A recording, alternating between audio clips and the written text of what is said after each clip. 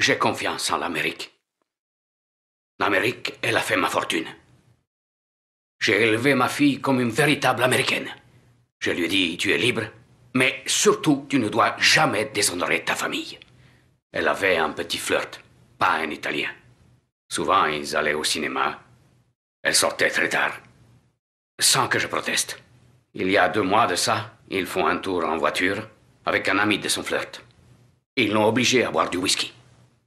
Et alors ils ont essayé d'abuser de ma fille. Elle a résisté. Elle a sauvé son honneur. Alors ils l'ont battue, comme un animal. Quand je l'ai vue à l'hôpital, son nez était brisé et sa mâchoire fracturée. Ça tenait avec du fil de fer. Elle n'arrivait même pas à pleurer tellement elle avait mal. Mais moi, j'ai pleuré. Pourquoi j'ai pleuré comme ça? Elle était la lumière de ma vie. Une belle fille, gracieuse. Elle ne sera plus jamais belle maintenant. Alors, je suis allé à la police, comme un vrai Américain. Ils ont fait un procès pour ces deux chiens. Le juge, les condamne d'abord à trois ans de prison et il leur accorde un sursis. Une peine avec sursis. Ils sont répartis libres le jour même. Je regardais la cour comme un pauvre idiot. Et ces deux bandits, ils m'ont souri à moi. Alors j'ai dit à ma femme, pour la justice, il faut aller voir Don Corleone.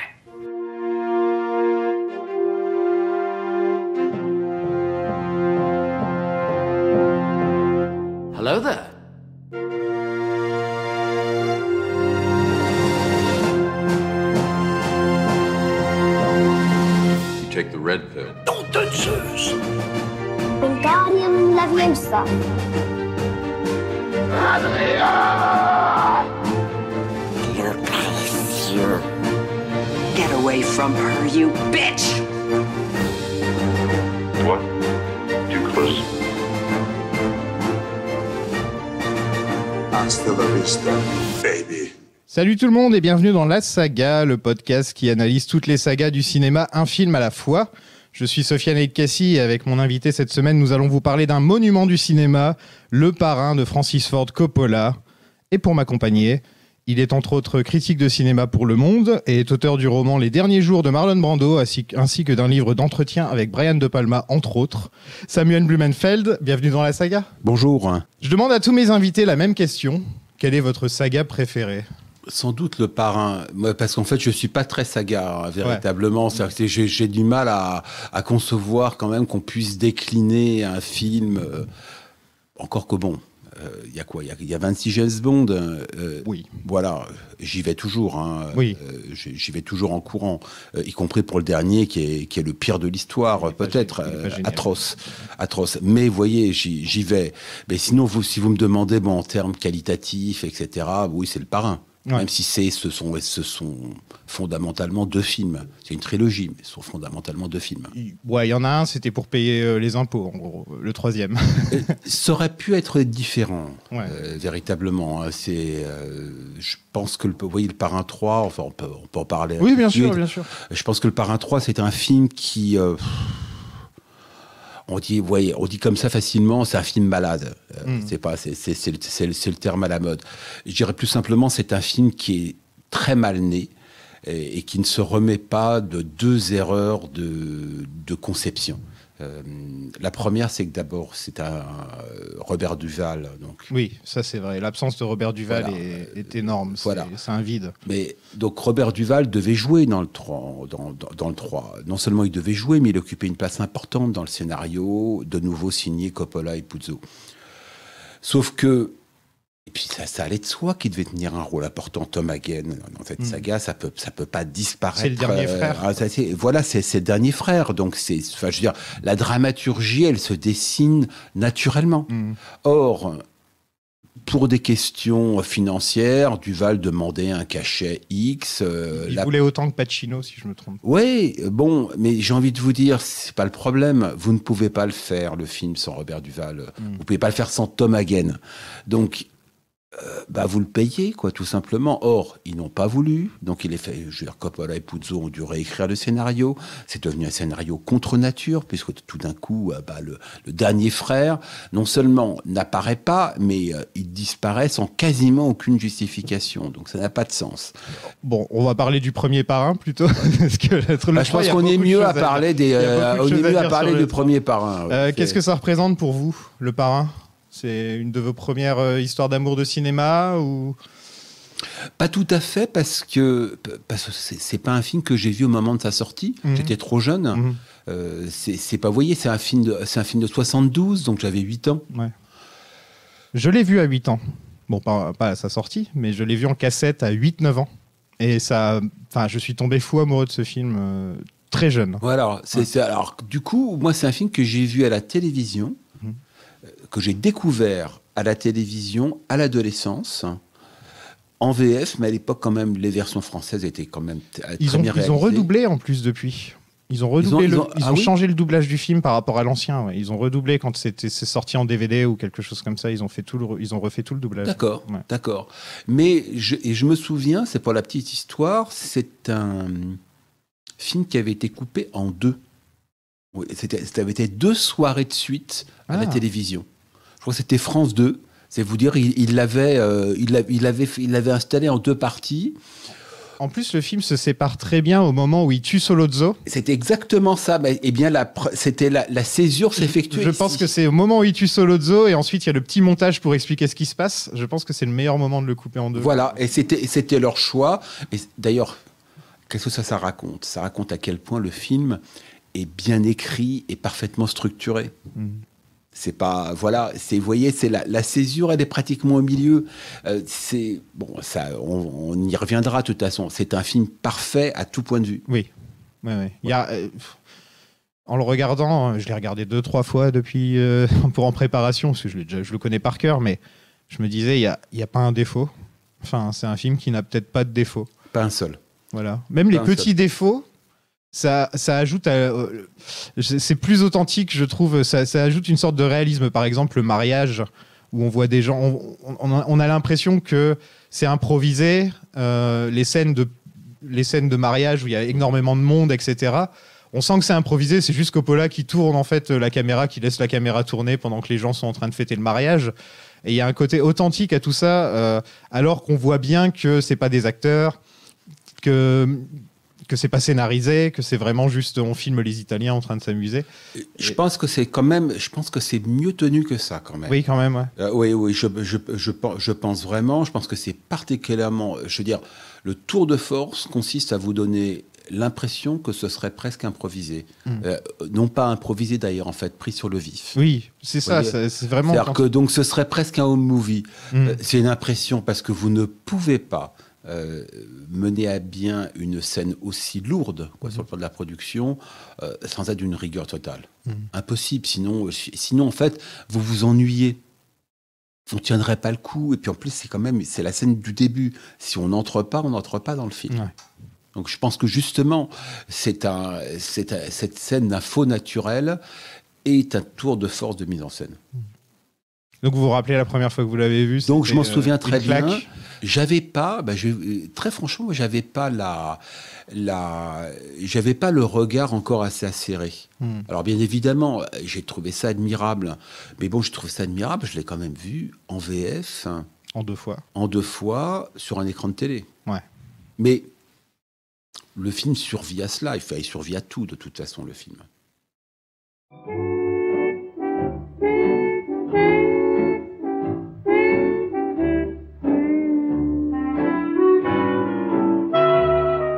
Donc en 1969 sort The Godfather, le livre de Mario Puzo, qui est resté dans le- la best-seller list du New York Times pendant 67 semaines.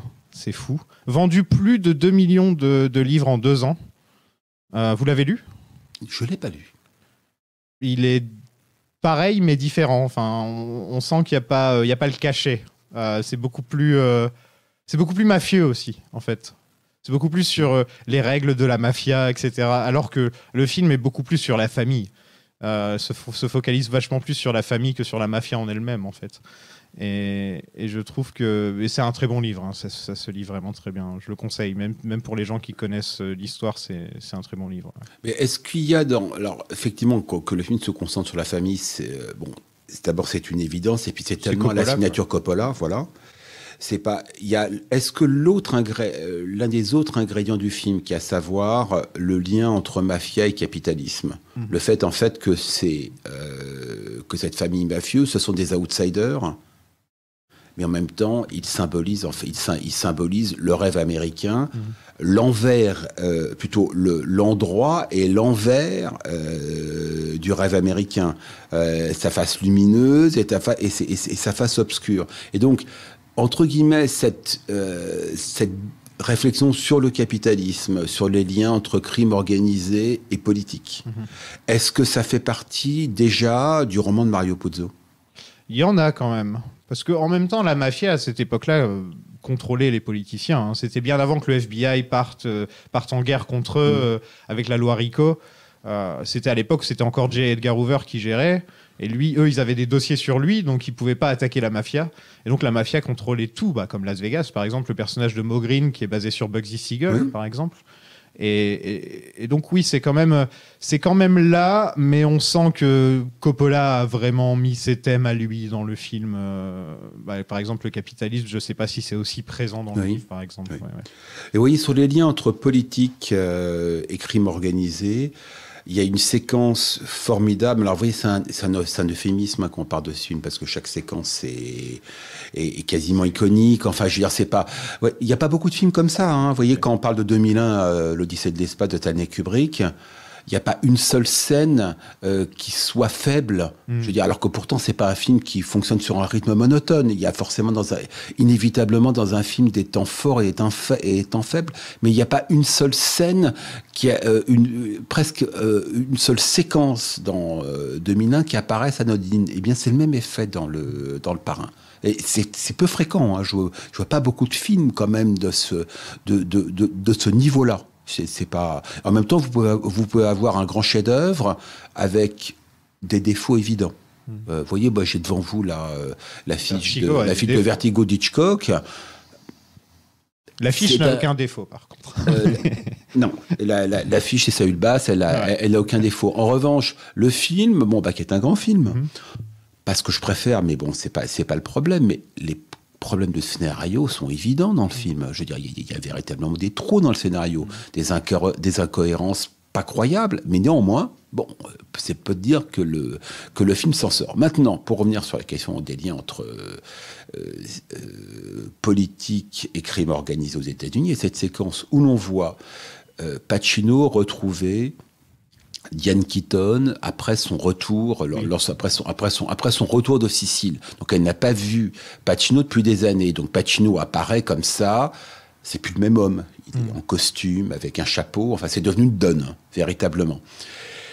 Et donc il vient la reprendre. Il vient la reprendre et la réinsérer dans l'histoire de sa famille. Et il y a un bref échange où elle dit, mais vous savez, euh, aux États-Unis, quand même, on n'assassine pas les présidents. Et euh, non, Pacino les lui- présidents n'assa- euh, n'assassinent personne. n'assassine personne et, euh, et, et Pacino lui répond mais dis-moi tu es bien naïve euh, Ouais. Kay. Hein, Kay, c'est son prénom c'est son prénom dans le film tu es bien naïf or c'est une allusion directe à l'assassinat de JFK je veux dire c'est pas enfin, je veux dire c'est véritable JFK qui apparaît plus ou moins dans le 2. Le personnage du sénateur qui est basé sur lui, celui qui, qui a une scène avec la prostituée, etc. Et ensuite ils lui mettent la pression. Euh, c'est clairement Kennedy euh, dans le dans le 2. Ils, ils ont en plus il est catholique si je me trompe pas, il a un nom Ouais. euh, il est il est un nom irlandais etc. Donc c'est vraiment un, c'est vraiment un Kennedy je pense le sénateur. vous pensez vraiment Alors, bien évidemment, attention, le film, quand je dis que c'est une allusion à Kennedy, c'est une allusion à Kennedy, dans le film, Kennedy n'est pas. Ça pourrait être Lincoln. hein. ça- oui, Voilà. Mais simplement, n'oublions pas que nous sommes en 1972. C'est pas, on est en plein dans une ère du complot aux États-Unis. Enfin, je parle d'une ère du complot au cinéma. C'est une chose qui, qui irrigue le cinéma américain.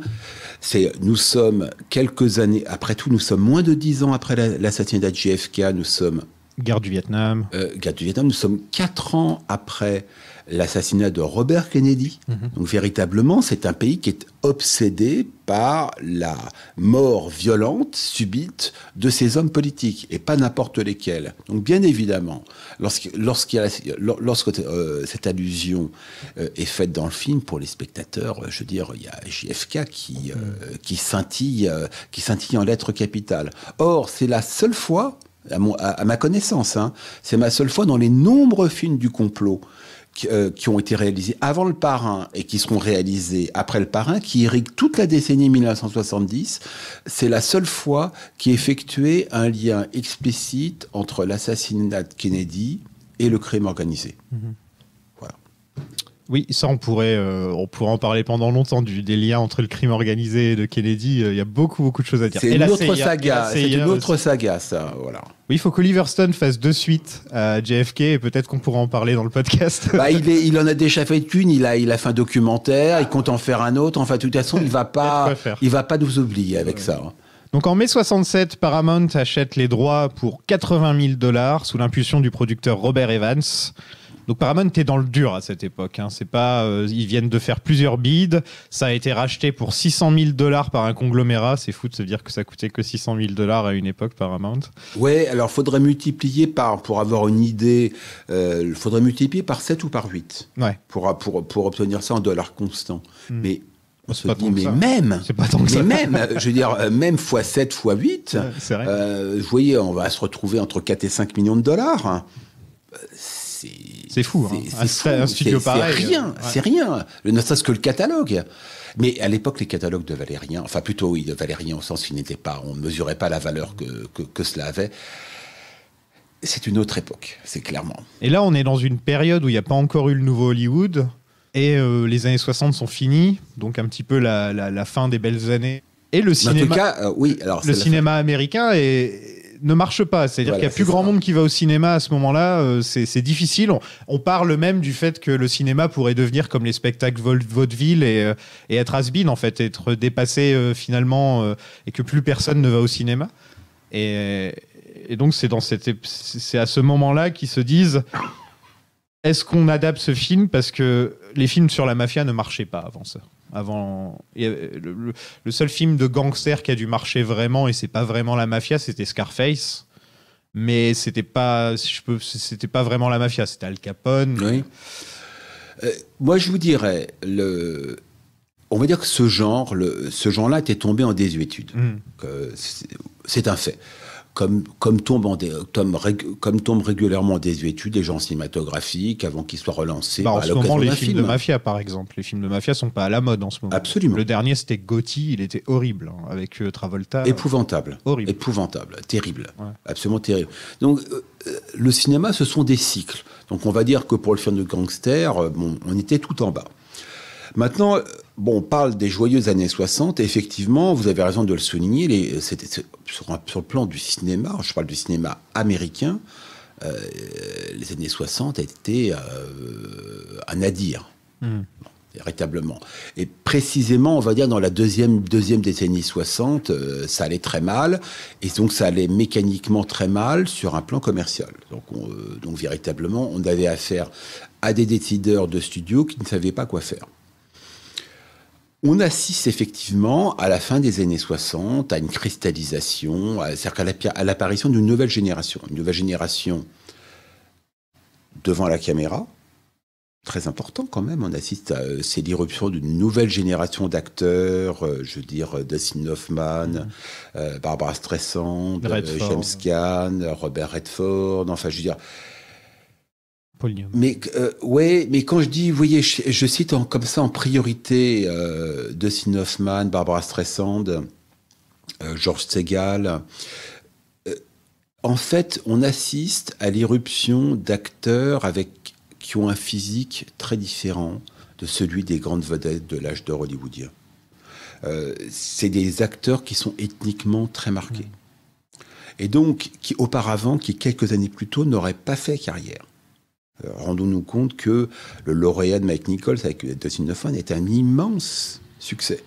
C'est un, c'est un film qui, c'est un film qui bouleverse la donne euh, à Hollywood parce que quand on dit voilà c'est le film qui a bouleversé la donne, euh, on, on- on- on est induit en erreur, c'est jamais un film qui bouleverse la donne, c'est un ensemble de films. Donc euh, ce, ce- ce sont, ce sont- ce sont des faisceaux convergents. Parmi les faisceaux convergents, il y avait le lauréat. Or, il était impensable, quelques années plus tôt, qu'un comédien comme Dustin Hoffman devienne un premier rôle.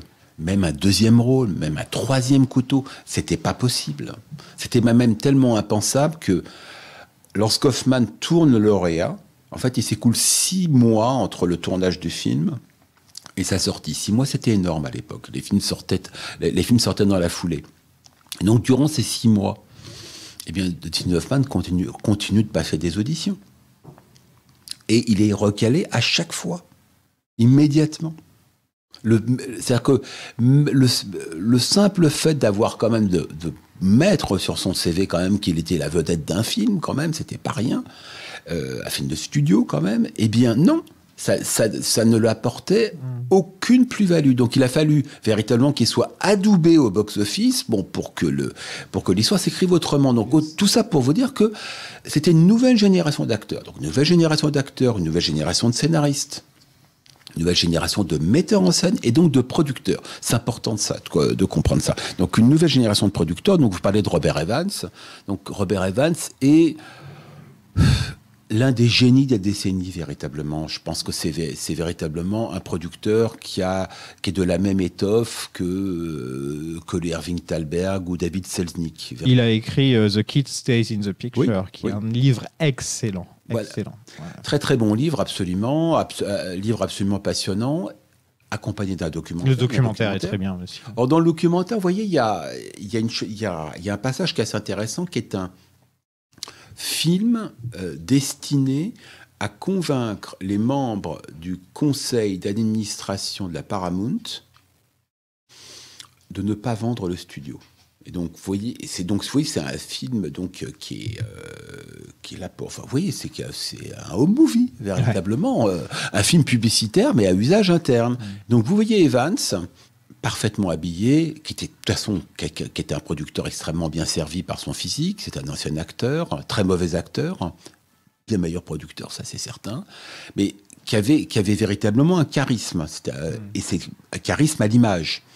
Et donc, ce qui, le servait beaucoup, dans ce contexte-là, était essentiel. Et donc, vous avez ce film donc euh, à usage interne où Evans est en train d'expliquer, écoutez, euh, nous sommes en difficulté, mais je vous le promets, euh, nous avons acheté les droits de certains livres et nous pouvons, nous avons les moyens de relancer les, stu- les studios. Et parmi nos projets, nous avons euh, cette histoire d'amour qui s'appelle Love Story euh, et euh, ce film qui se déroule dans la mafia, je, je veux dire intitulé Le Parrain.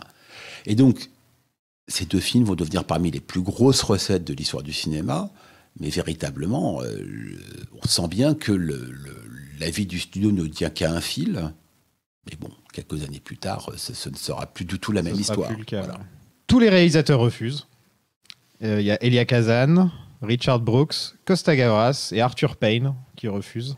Le- Mais c'est Robert Evans qui se dit ce serait bien si c'était un Italien qui, qui réalisait. Et c'est là qu'il a eu la très bonne idée de, de laisser un Italien faire le parrain au final. Et euh, sinon, un des premiers choix, c'était aussi Sergio Leone. Ouais. Et lui, il a, il a préféré travailler sur Il était une fois en Amérique, au final. Oui, alors déjà, effectivement, c'est une bonne remarque, ça, le fait que euh, Léon avait déjà son film de mafia. Voilà. Il y a une autre, donc, bon, bah, pourquoi faire celui-ci alors qu'il avait, alors que, alors que depuis, déjà un bon moment, hein, quand Ah, même. il a hein. bossé dessus pendant très longtemps. Mais très très longtemps, enfin, je- ah, c'est 20 ans en fait. hein. Je- il, est pas. euh, il est sorti en les années 80, c'est ça? Euh, Absolument, euh, c'est, c'est pas, c'est pas comme ça, je dirais, attends, euh, le 84 hein. Ah, je sais Je, je pense, euh, je pense que c'est première moitié des années 80. C'est, pas. Mais c'est, un film qu'il a en tête depuis, depuis presque, depuis presque 20 ans. C'est un scénario qui s'écrit et se, réécrit sur des années, véritablement. Bon.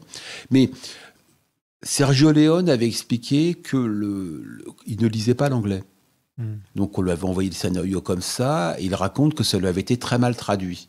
Et que si ça avait été traduit, si, si ça avait été traduit autrement, il aurait peut ici, ici sera peut il se serait peut-être lancé dans l'aventure. On aurait eu un film très étrange euh, comparé en comparaison. Ah, ça aurait pas été le même. euh, Ça aurait pas été le même. De toute façon, on ne sait pas ce qu'était ce, qu'était ce film avant que Coppola n'y mette sa patte. Et on, et on a du mal à, à l'imaginer avant. Ouais.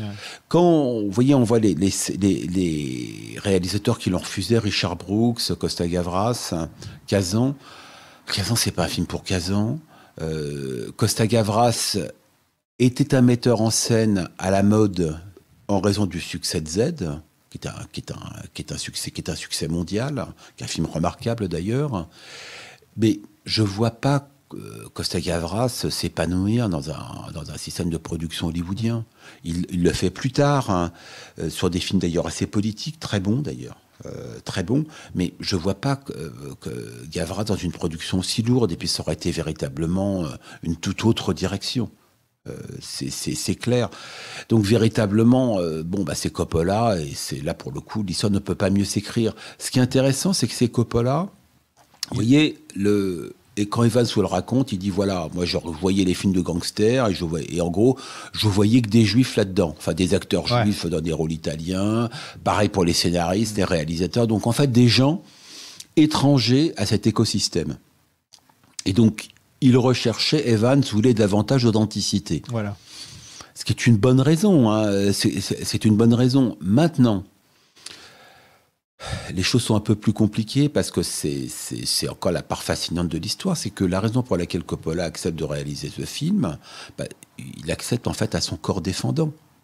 Euh, il n'aurait tenu qu'à lui-même, il aurait dit non. C'est George Ça- Lucas qui l'a qui l'a convaincu. Il y a ça, et il y a le fait que euh, Coppola en fait sortait euh, du désastre financier d'une comédie musicale avec Oui. Fred Astaire, Finian's Rainbow, qui est un film, un mauvais film, Mhm. euh, qui, est- qui est un très mauvais film.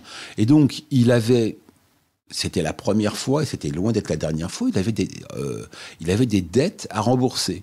Et donc comme il avait des dettes à rembourser, il a pris un film de studio, un projet ambitieux, mais qui ne le, qui n'était pas ce qu'il souhaitait faire. Non, il, il aimait pas le roman.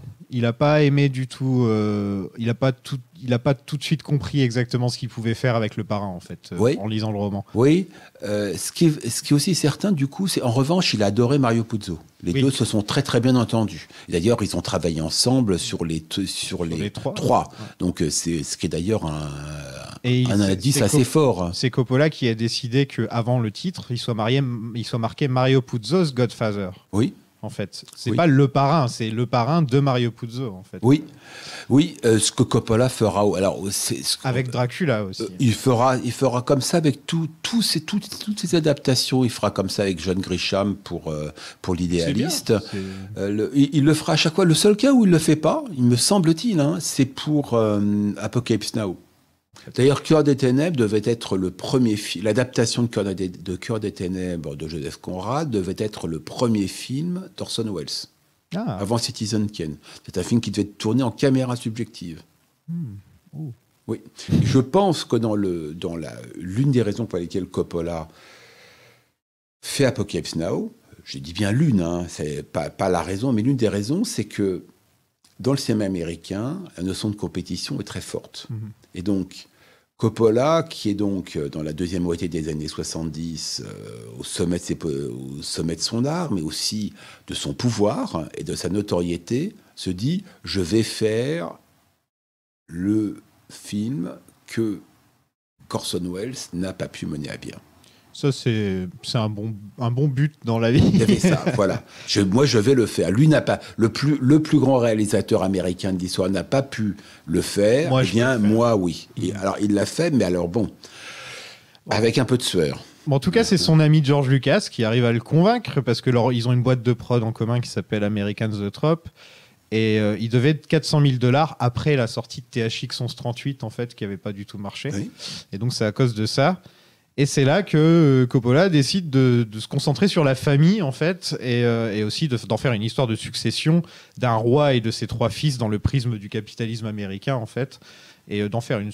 C'est shakespearien, hein, tout simplement. Ah, Il y, a, il y a de toute façon la dimension shakespearienne, elle est explicite, assumée. Il y a, euh, je veux dire, c'est Henri V, hein. C'est le le côté. euh, D'ailleurs, si vous voulez, c'est Henri V. euh, Cette idée justement bah, du roitelet qui n'était qui n'est pas intéressé par la succession de son père et qui finalement, lorsqu'il lorsqu'il l'assume, l'assume avec un zèle excessif. Enfin, excessif, enfin, je veux dire, avec, euh, avec, avec une intensité insoupçonnable euh, auparavant. Euh, ça, c'est véritable, c'est véritablement shakespearien. Il y a des moments, d'ailleurs, je dirais, plus shakespearien que d'autres dans le, dans, le, dans le parrain. Je pense à cette scène où Pacino, pas excusez-moi, je pense à cette scène où Brando apprend euh, la mort de son fils, donc apprend la mort de Santino, donc James Caan. Et cette scène où justement Brando est là, dans, son, euh, dans une pièce, et il dit à Robert Duval, j'entends des cris là, je veux dire, je sais qu'on me cache, je, je sais que l'on me cache quelque chose, je veux qu'on me dise les choses. Ça, c'est non seulement c'est shakespearien, mais c'est presque, c'est une scène de théâtre. C'est véritablement une scène de théâtre. C'est, véritablement, on sent, on sent véritablement que Coppola euh, avait Shakespeare à sa droite en permanence lorsqu'il écrivait son, lors- lorsqu'il écrivait son scénario. C'est une scène absolument extraordinaire, véritablement extraordinaire. C'est pas donc bon. Shakespeare fait partie, bien évidemment, de, de la, de la dimension de la pièce. Il y a aussi bon et, et tout le théâtre politique shakespearien, les enfin, je veux dire, cette, cette manière dont on, dont, dont justement on, on élimine cette, cette adverse, la- toute la stratégie, quoi. Toute la, on va dire, pour faire très court, la dimension machiavélique, elle est en fait euh, moins italienne que britannique et issue justement du, de- de- de- du théâtre politique de Sha- shakespearien. Donc Paramount et, Francis ont plutôt clashé sur le tournage. hein. C'est euh, c'est- c'est légendaire maintenant. Parce que eux, ils voulaient que le film se déroule en 1970 plutôt qu'après la Seconde Guerre mondiale pour, faire moins, pour dépenser moins d'argent. Et aussi, ils voulaient que le film ne soit pas filmé à New York. Donc en gros, ça enlève quand même beaucoup du... bah, de ce qu'on connaît du parrain. Je veux dire, le parrain, c'est pour moi euh, quelque chose d'après-guerre. Enfin, c'est forcément... Ah mais c'est c'est- de, de toute façon, ça peut pas être autre chose que ce que c'est. C'est c'est pas c'est- non mais On- non mais il y a non rien, on non mais il y a plein de films où on se dit non peut-être que là il aurait fallu faire ci il aurait fallu faire ça ce qui est toujours quand même bien évidemment beaucoup plus facile à dire après Avec qu'avant mais il y a plein de cas où on se dit on voit bien où, où, où- où- où les où les défauts et les sources d'amélioration sont évidentes sur le parrain, non. C'est pas, c'est ça et rien d'autre. Maintenant, cette idée-là de tourner un film contemporain euh, dans une ville quelconque, je sais pas quelle ville il proposait d'ailleurs, je sais plus quelle ville. Enfin, c'est un truc, enfin c'est quelque chose qui est architecture, architecturalement n'avait mais aucun intérêt véritablement. Euh, donc cette idée-là, bah, c'est une idée de producteur. En fait, elle est, toute, elle, est, elle est cohérente et légitime du point de vue d'un financier. Je veux dire, euh, c'est Paramount est un studio aux abois, il veut dépenser le moins d'argent possible, donc ça va de soi qu'on fait un film contemporain. On se dit, bah, l'histoire du parrain, enfin, la structure du, du roman de Puzo, elle, est- elle est très bonne comme ça. Donc euh, pourquoi ne pas la faire, euh, je veux dire, dans, dans, un, dans un cadre contemporain? Ça aurait pu être fait comme ça. Ce- ce- euh, je veux dire, et, ce- et ce- et ça aurait, ça aurait pu faire un film très correct. Sauf que le faire à New York, donc avec l'histoire de New York et de l'immigration. Les cinq familles de la- de- Voilà, les- euh, avec l'immigration italienne. Donc, si vous voulez, cette ville qui est, cette, cette ville qui est justement le- la, la porte d'entrée des, euh, des immigrants, pas seulement italiens. Donc, cette ville portant cette histoire relier justement le film, relier le film, dis, euh, à l'histoire récente des États-Unis, c'est-à-dire c'est justement faire de Pacino un vétéran, de la- un vétéran de la guerre. Donc quelqu'un qui, contre l'avis de sa famille, a tenu à être un citoyen américain exemplaire. Pas épouser le rêve américain d'ailleurs, hein, à épouser la, la- la responsabilité d'être citoyen américain. C'est bien plus profond et bien plus intéressant et moins naïf. Bah, vous pouvez pas l'avoir hein, dans un film contemporain. Non. C'est pas possible. Donc tous, euh, je- tous ces éléments, je veux dire, qui nous, qui nous semblent évidents, qui s'inscrivent naturellement, puisque c'est un film à New York, dans l'immédiat après-guerre, bah, tout cela aurait disparu. Et donc, euh, ce qui aurait disparu au passage, bah, c'est toute une complexité des personnages et tout le lien, en fait, de cette histoire avec l'histoire de l'Amérique. Donc Mario Puzo est annoncé comme co-scénariste avec un joli chèque et un pourcentage des revenus. Et il envoie une lettre à Marlon Brando. Je ne savais pas que ça venait de lui, en fait, l'idée de Marlon Brando. C'est Mario Puzo qui, le premier, s'est dit euh, Je vais envoyer une lettre à Brando au cas où, parce que c'était son idée à lui. Alors que Brando n'est pas, n'est pas italien, on est d'accord. hein. Euh, il est absolument pas italien. il a un nom, on dirait Brando. On dirait Non, on non, dirait non, non, italien, non, il vient du Nebraska. c'est pas, c'est. Je, je suis sûr que la plupart des gens pensent qu'il est italien à cause de ce film. Oui. Et d'une certaine façon, on, peut pas leur, on, on ne peut pas le leur reprocher parce que Brando est- est- est- incarne le, le, le, le, le parrain, le, le mafieux italien par excellence. Mais alors qu'en fait, c'est une composition qui ne ressemble à aucune autre, euh, qui est conçue par Brando dans son coin. hein. Je veux dire, véritablement, c'est-à-dire si vous voulez l'idée des bajoux en mettant, des, en mettant du, du, du coton, Du des, coton. des boules de coton, euh, cette voix justement euh, euh, cette voix atone, euh, Où il prononce pas vraiment euh, ce qu'il dit. ouais, où Brando justement avait tenu à avoir à- cette voix parce qu'il avait pensé à l'histoire suivante. C'est dans une vie passée, il avait été blessé par balle et donc une balle avait touché ses cordes vocales. Ah, Oui. ok. Bon. Ils auraient pu le mettre dans le 2, ça. Ça, c'est- et, et- et bien évidemment, ce, ce chat qu'il caresse en permanence, dans, euh, je, euh, je dire, bon, bah, c'était, c'était, euh, c'était sa conception. hein. je veux dire, c'est véritablement, c'est l'apport de Brando. N'oublions pas, le cinéma est un médium de collaboration.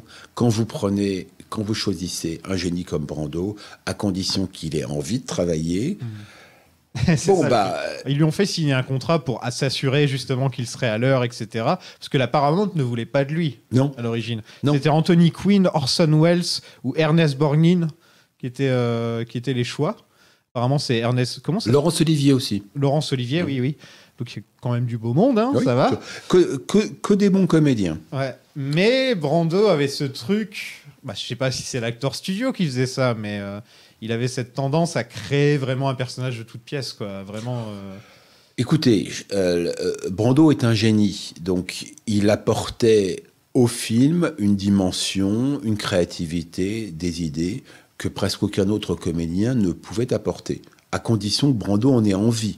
Parce que quand même, faut remettre les il choses était quand- difficile, hein, Brando. Il était plus que difficile. Il faut remettre les choses dans, dans- faut remettre les choses dans leur contexte. Effectivement, vous avez raison de le souligner, l'idée de casting de Brando, c'est Mario Puzo.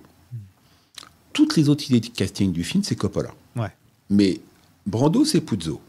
En revanche, lorsque Puzo met Brando dans l'équation, Coppola dit oui tout de suite. Oui, Coppola a mis la pression ensuite, apparemment. dit oui tout de suite. Et, et- et c'est un choix euh, euh, euh, qu'il assume euh, pleinement. Ça a du Euh, sens. euh, voilà, il comprend, il comp- une fois que Brando est justement bah, dans, dans l'équation, Coppola, se- Co- Coppola comprend tout l'avantage qu'il peut tirer d'un acteur pareil. Maintenant, quand on entend le studio n'en voulait pas, et voilà, euh, c'est parce que ça faisait dix ans que, euh, que Brando n'avait pas réalisé un succès. Bah, c'est un fait. Vois, Il y avait le- il y avait l'expression qui, qui, qui collait à Brando, c'était box office poison. Ouais.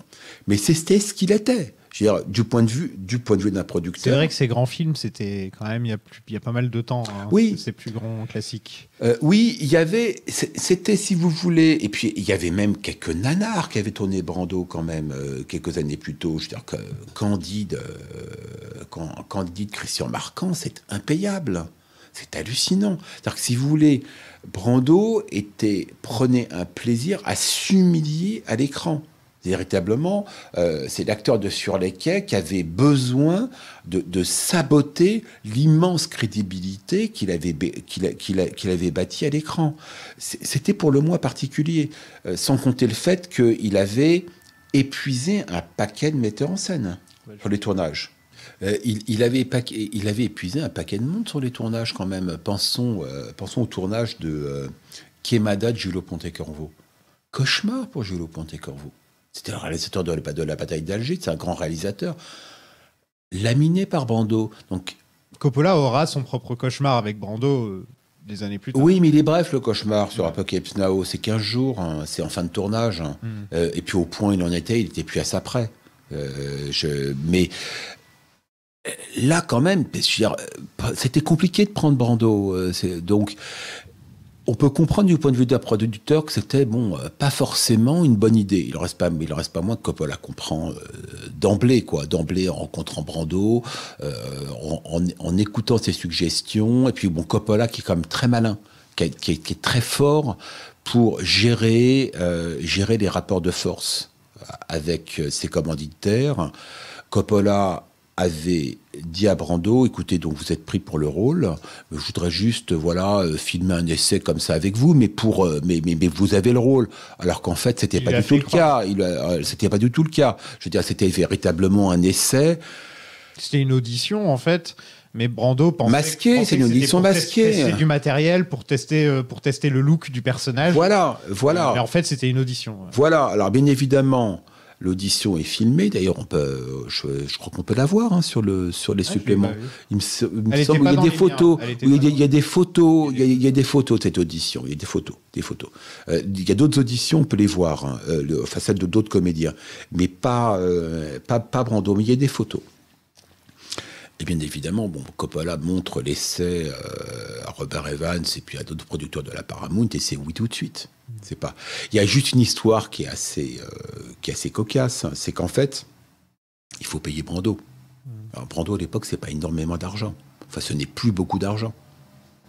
Et donc, la Paramount, euh, bah, désireux de payer le moins d'argent possible, je crois propose quelque chose comme 150 000 dollars à Brando. C'est pour donner un ordre, un ordre, de, un ordre de grandeur, hein, je veux dire, mais ça peut à 50 000 dollars près, ça doit, ça, ça doit être à peu près ça. Donc il propose 100 150 000 dollars à Brando plus un pourcentage sur les recettes. Euh, Ou alors 200 000, 50 000 dollars de plus. Je crois qu'en tout, il a gagné 1 300 000 sur le, grâce au film. Je suis pas certain. Ce Ça me semble beaucoup. c'est ce que ça, j'ai- ça me semble beaucoup. Euh, parce que il avait, parce qu'en fait, il a tout simplement négocié un cachet, quoi. C'est tout. Rien Mais de je plus. crois que c'est le pourcentage sur le. Ah, il n'a pas de pourcentage. Ah ouais? Il a pas de- justement, euh, le, le- le- on lui propose un pourcentage et Brando préfère toucher 50 000 dollars de plus. Et donc, en renonçant à son pourcentage, mais c'est quelque chose qui est- c'est c'est une histoire importante parce qu'en fait, elle a, elle a déterminé tout le reste de la carrière de Brando par la suite, qu'il parce qu'il était traumatisé par cette affaire. En renonçant à ce pourcentage, en fait, Brando s'est assis sur 7 millions de dollars. C'est énorme, on va, on multiplie par 7. Hein. Donc euh, 7, 7 fois 7, 49. Il s'est- Il s'est assis véritablement sur une fortune. C'est peut-être comme pour ça que pour Superman, il a, Ah. il a demandé le chèque, il a demandé. euh, Absolument. Ensuite, après, il, a, il, il demandait des sommes aberrantes. Enfin, je veux dire, il, il faisait des films pour de l'argent. Il n'en avait plus rien à faire. Je veux dire, c'était pas. C'est, c'est une, il n'y a plus. Il, n'y a plus de. Il, n'y a plus d'ambition artistique dans sa carrière. Même à, même à Apocalypse Now, il arrive les mains dans les poches sur le tournage. Il n'a pas lu, il a pas, il a pas lu le scénario et euh, surpoids euh, et encore euh, c'est alors c'est un surpoids mais c'est rien à côté de ce qu'on de ce qu'on- de ce qu'on verra de ce qu'on verra par la suite. Mais même à Apocalypse Now il le fait pour de l'argent. Ouais. il a un énorme cachet je crois c'est un million de dollars enfin bon.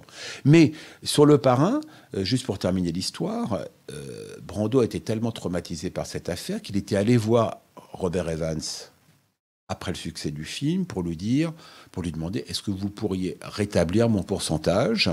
Et vous rétablissez mon pourcentage et en échange de cela, je m'engage à faire au moins trois films pour Paramount.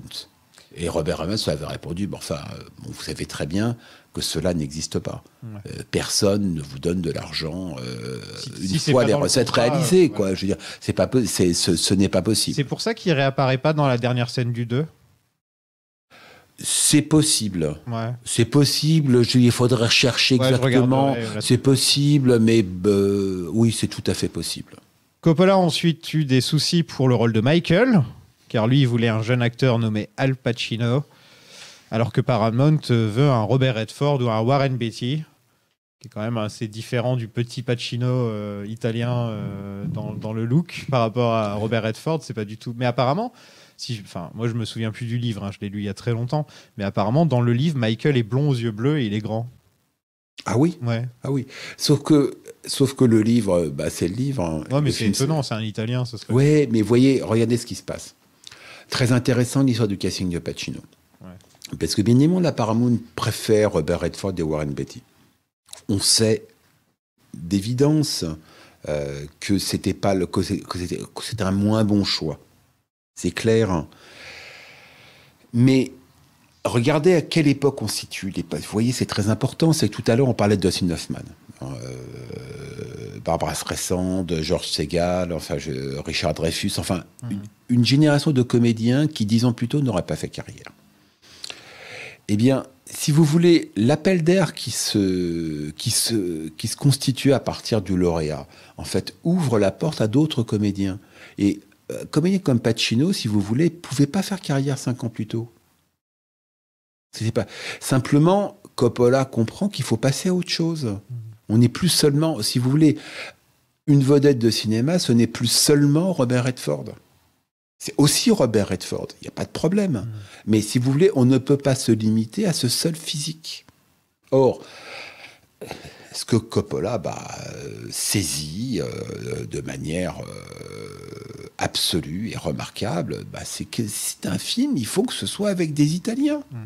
C'est le parrain. Et là, on a James Caan, on a Marlon Brando qui sont pas italiens.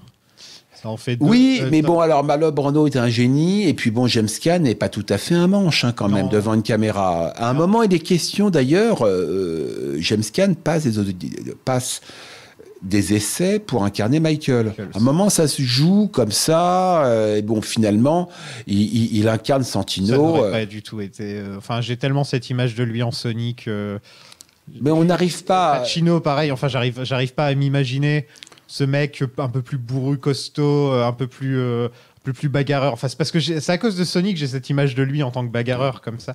Et non, j'aurais, enfin, j'ai Pacino. euh, C'est Pacino pas est possible, ancré dans hein. ma mémoire. C'est pas possible. Et voilà. puis en plus, on parle d'Al Pacino. Oui. C'est que. euh, Et il on- est tellement bon dans ce film. il, est- il est, il est grandiose. hein. Il est absolument grandiose. On est, hein. on est tellement focalisé sur Marlon Brando euh, avec le premier film qu'on en oublie qu'Al Pacino il fait, euh, il fait une, Oui. une des meilleures euh, performances de l'histoire. Ce qui est impressionnant, c'est quand même de se rendre compte que dans les, la première semaine, au bout de la première semaine de tournage du film, la Paramount songe à se débarrasser de Pacino. Ils sont extrêmement déçus par, le, par, par les premières séquences. Alors les premières séquences, sont celles, c'est celle du mariage. Mhm. Donc, qui est un mec où l'on a Michael Corleone euh, euh, bah, en uniforme militaire, en retenue. Donc ils ne, ils se disent mais c'est un acteur extrêmement terne. Alors que, alors que Pacino a bien évidemment en tête toute l'architecture de son rôle et donc il s'agit de monter en puissance. Et donc le moment où la Paramount bon, bah, ne, pose plus la question du Cappuccino, c'est après le tournage de la scène, donc qui a, qui a lieu euh, dans la, je crois en fin de première semaine ou en début de deuxième semaine. Je crois que c'est plutôt en fin de première semaine, c'est après le tournage de la scène où Michael Corleone assassine, euh, assassine Solozzo et puis le, le flic incarné par euh, Sterling Hayden. Quand ils ont vu ça, ils ont tout de suite donné euh, la green light. Là, ils se sont dit, bon, là, c'est fini, on discute plus, parce Ouais. que là, il y, a- il y a une évidence. Sauf que c'est intéressant de revoir cette scène à l'aune de cette information. Parce que Pacino sait qu'on veut se débarrasser de lui quand il tourne cette scène-là. Donc, Il, il le sait. Il met tout dedans. Donc il sait que il, il sait qu'il joue euh, qu'il joue sa carrière euh, il, il joue sa carrière à cet instant-là et il joue sa carrière euh, au moment où Michael Corleone bah, joue en fait euh, son destin. Très, c'est très très intéressant parce que il y a véritablement une, une coïncidence entre Pacino et son personnage Hmm. c'est très très impressionnant. Bon, c'est une des autres scènes euh, inoubliables euh, de ce film. Dustin Hoffman, donc justement, on en parlait. Martin Sheen et donc James Caan, ont auditionné et Nicholson a refusé le rôle parce qu'il voulait que ce, il disait que ça devrait être un Italien. Oui, Alors, j'ai- je ne suis pas euh, certain qu'ils aient auditionné. hein. Il- il- il- il- c'est- vous savez, lorsqu'on lance une production pareille, il y, a, il y a comme ça, tous les noms sont, euh, sont un petit peu mis sur la table. Donc c'est même, j'ai du mal à imaginer que Nicholson, euh, je- que Nicholson ait pu être véritablement contacté, vous voyez. Pareil pour Dustin Hoffman. En fait, euh, le, personnage de Michael, il doit y avoir une certaine douceur au début. Il doit avoir une certaine euh, normalité comparée au reste de la famille, en fait. Une certaine, on, on peut, on peut se dire, ah, ce mec-là, c'est peut-être le seul de la famille avec qui je pourrais vraiment parler, quoi.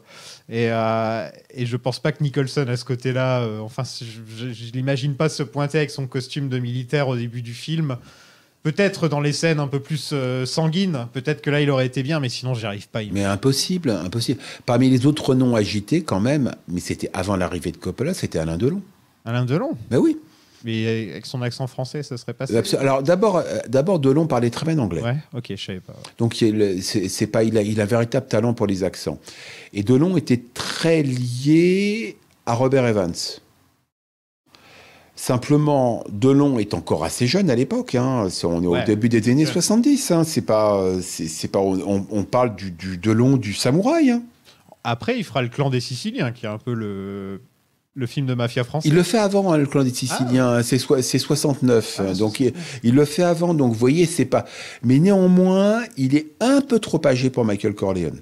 Hmm. Euh, mais de toute façon, c'était hors sujet. Je je suis même pas certain que la proposition soit ar- soit arrivée jusqu'à Delon. C'est pas. Encore une fois, ce qu'on a à l'écran est ce qu'il y a de mieux? Pendant le tournage, Francis a dû se battre avec la Paramount car il jugeait le film trop sombre, donc pas assez éclairé, hein, pas sombre dans l'histoire, et euh, que Brando jouait mal aussi, qu'on comprenait rien à ce qu'il disait. Première fois qu'on voit le film, en fait, on a tellement, je pense que c'est tellement ancré dans la pop culture maintenant, la voix du parrain qui parle comme ça. Mais en fait, quand on n'est pas au courant, j'imagine la première fois qu'on voit le film, on sait pas du tout quelle voix il va prendre. Ça doit être un peu décon- ça doit être un peu spécial, j'imagine. Euh, c'était surtout, euh, moi je dirais la voix, c'était surtout la, la, la photo. Enfin, la lumière. ah oui, la lumière, la de lumière, Gordon Willis. euh, Euh, la lumière de Gordon Willis les avait complètement déstabilisés. Lui, il s'appelait le Prince of Darkness, Oui. son surnom. Alors, c'est important de comprendre que la- la- les choix de lumière de Gordon Willis sont très fortement inspirés par ceux de Vittorio Storaro dans Le Conformiste de Bernardo Bertolucci. Le Conformiste est véritablement un film que Coppola ausculte avant de réaliser Le Parrain. Donc véritablement, si vous voulez, le- les choix de lumière, euh, les, choix de lumière sont fortement inspirés du conformiste. D'ailleurs, il y a des correspondances, euh, je parle de correspondances écrites entre, entre Willis et, et Storaro, justement sur cette lumière. C'est une époque où, n'oublions pas, il est considéré que lorsqu'on fait, euh, lorsqu'on fait un film dit artistique, un film d'auteur, on fait encore des films en noir et blanc. Ouais. C'est pas, ça va pas de soi de tourner en couleur. Or, la photo, là où la, la, la photo en couleur de Storaro dans le conformisme est absolument novatrice, hein, c'est que c'est une photo en couleur qui porte encore les marques du noir et blanc. Il y a véritablement, c'est la, la, la photo en couleur est complètement renouvelée par euh, par Storaro. Je pense aussi qu'il y a une autre chose importante du, euh, dans le conformisme qui est reprise dans le Parrain, c'est la manière dont on voit un personnage d'abord terne à l'écran, euh, s'affirmer de manière extrêmement surprenante et s'affirmer par son extrême cruauté. C'est véritablement le parcours accompli par Trintignant dans le conformiste. Et c'est la même trajectoire euh, dans le parrain. Euh, Gérard Pacino reprend la même trajectoire dans le parrain. Et d'ailleurs, quand on y repense, on réfléchit comme ça, c'est un exercice abstrait, mais les exercices abstraits au cinéma parfois sont, sont, assez, sont assez riches. Trintignant aurait fait un Michael Corleone formidable pas italo-américain, bien évidemment, mais il aurait, été, un- choix de casting merveilleux. Mais c'est un fait, pour, pour revenir strictement au parrain, c'est un fait que les producteurs, euh, les, producteurs à la Paramount sont complètement déstabilisés par cette, euh, lumière. Elle va de soi aujourd'hui. On se dit mais c'est formidable. Mais à l'époque, ils se disent on se dit vraiment on n'y voit rien. Qu'est-ce que c'est que cette histoire? Et donc ils veulent renvoyer Coppola. Mais quand je dis qu'ils veulent, ils avaient même trouvé son remplaçant, qui était un autre réalisateur qui s'appelait Aram Avakian, qui est d'ailleurs un, ami de Coppola. Ils ne se sont plus jamais adressé la parole par, euh, euh, par la suite. Mais l'espace d'un week-end, durant les deux, je crois que c'est au bout de, de 15 jours de tournage, l'espace d'un week-end, il est fortement question de virer Coppola. Les noirs sont tellement noirs dans ce film qu'ils ont eu des gros problèmes pour, euh, pour remasteriser l'image, en fait. Déjà parce que la- les, bobines, les bobines originales étaient dans un état pas possible. Mais ensuite, en fait, ça se remarque. Moi, j'ai le Blu-ray. Oui. Le 4K, apparemment, est magnifique. Mais le Blu-ray a des, a des petits points un peu partout. Euh, a vraiment une qualité qui est pas géniale. Et je pense que Mais même là, même le tirage- À gérer le, à gérer le noir, en fait, la couleur. Ouais. Mais même le tirage, même la nouvelle édition là, qui est, qui est Le, sortie le- cette le année. 4K est très bien, mais le Blu-ray, non. Le Blu-ray, c'est la même version qu'avant. Et j'étais vraiment triste. J'ai acheté le coffret en me disant Ah, je vais pouvoir regarder la, enfin le parrain en bonne qualité. Et non, la Et qualité. ça reste toujours aussi problématique. Il Ouais, faut le voir en 4K. faut le voir en 4K. Donc il faut une télé 4K. Exact. euh, c'est pas pour. Moi, j'ai pas de lecteur, donc j'ai pas, j'ai jamais pu, euh, jamais pu mettre de 4K, mais. Mais oui, oui, la qualité est vraiment horrible dans, dans le Blu-ray. Et c'est les deux premiers. Hein, c'est pas juste le premier. hein, c'est ouais. Ouais, les deux premiers. Ouais, D'accord. C'est pas. S'il y avait une, et je crois j'avais entendu aussi une histoire que l'internégatif avait été tellement sollicité pour pour Faire pour des copies. voilà pour faire des copies qui- qu'ils avaient fini par l'abîmer. Ouais, c'est ça. Euh, Il y a un très bon documentaire sur le sujet dans, dans le coffret. D'ailleurs, c'est un peu le seul bon documentaire du coffret. hein. J'étais un peu déçu, euh, c'était pas génial. euh, Ah, parmi les nouveautés comparées à l'édition précédente, quoi. Il n'y a, pas- a- a énormément de choses. Il y a une introduction de Francis Ford Coppola. Enfin, ils sont pas vraiment. euh. Donc Gordon Willis, lui, euh, c'est Annie Hall, c'est Manhattan, c'est les hommes du président. Oui. Donc c'est quand même une. Dans son époque, il a quand même fait des très très grands films. C'est l'un des grands chefs opérateurs de l'époque. Ouais. Et il voulait Très grand chef. Avec Très Coppola, euh, quand ils se sont réunis la première fois, ils se sont dit on veut que les plans ressemblent à des tableaux. Et, euh, et c'est là qu'il est venu avec son sorte de ton jaune, ton doré un petit peu que le film a. C'est vrai qu'il est un peu Oui. doré comme Oui. film. Et, euh, et ça fait des couleurs un peu plus douces, je trouve. Et, ouais, c'est un film qui a une, une, palette, de, une palette de couleurs très. euh, très enfin, ce serait intéressant de se poser et de regarder juste la palette de couleurs de chacune des scènes parce que c'est travaillé. Quoi. On sent que c'est très, très travaillé. Paramount voulait que le film fasse 2h10 et pas une minute de plus, sinon ils s'occuperaient eux-mêmes du montage. Ils ont commencé à regarder le film et ils- en fait Coppola s'est pointé avec une version de 2h10 et ils ont dit ouais en fait non ça- il manque trop de choses quoi. C'est on peut pas couper le parrain en fait c'est ça le problème. Euh, alors, Qu'est-ce qu'il a enlevé en fait? Qu'est-ce qu'il aurait enlevé? J'ose même pas imaginer ce qu'il a enlevé. Quoi. ça- et si vous voulez, ça c'est la version de Robert Evans. Mhm. Bon, le, le- durant le tournage, bon bah les rapports, euh, bon ça, ça, ça, ça, on le devine facilement. Les rapports entre Robert Evans et Coppola sont très durs. Ça ça peut pas être autrement lorsqu'on a failli être viré de son film. Mais ils sont très durs et donc la version de Robert Evans, c'est euh, Coppola me remet euh, une version de- environ- d'environ deux heures.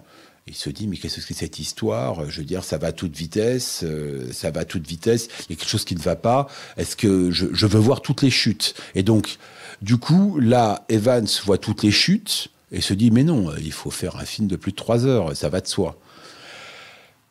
Ce qui accrédite l'idée que Evans serait euh, non pas le co-auteur du film, on va véritablement une force créative fondamentale, sans quoi ce film-là bah, serait passé à la trappe. Euh, par un de deux heures, c'est pas, ce film-là de deux heures, c'est pas possible. Bien évidemment, Coppola explique que c'est faux.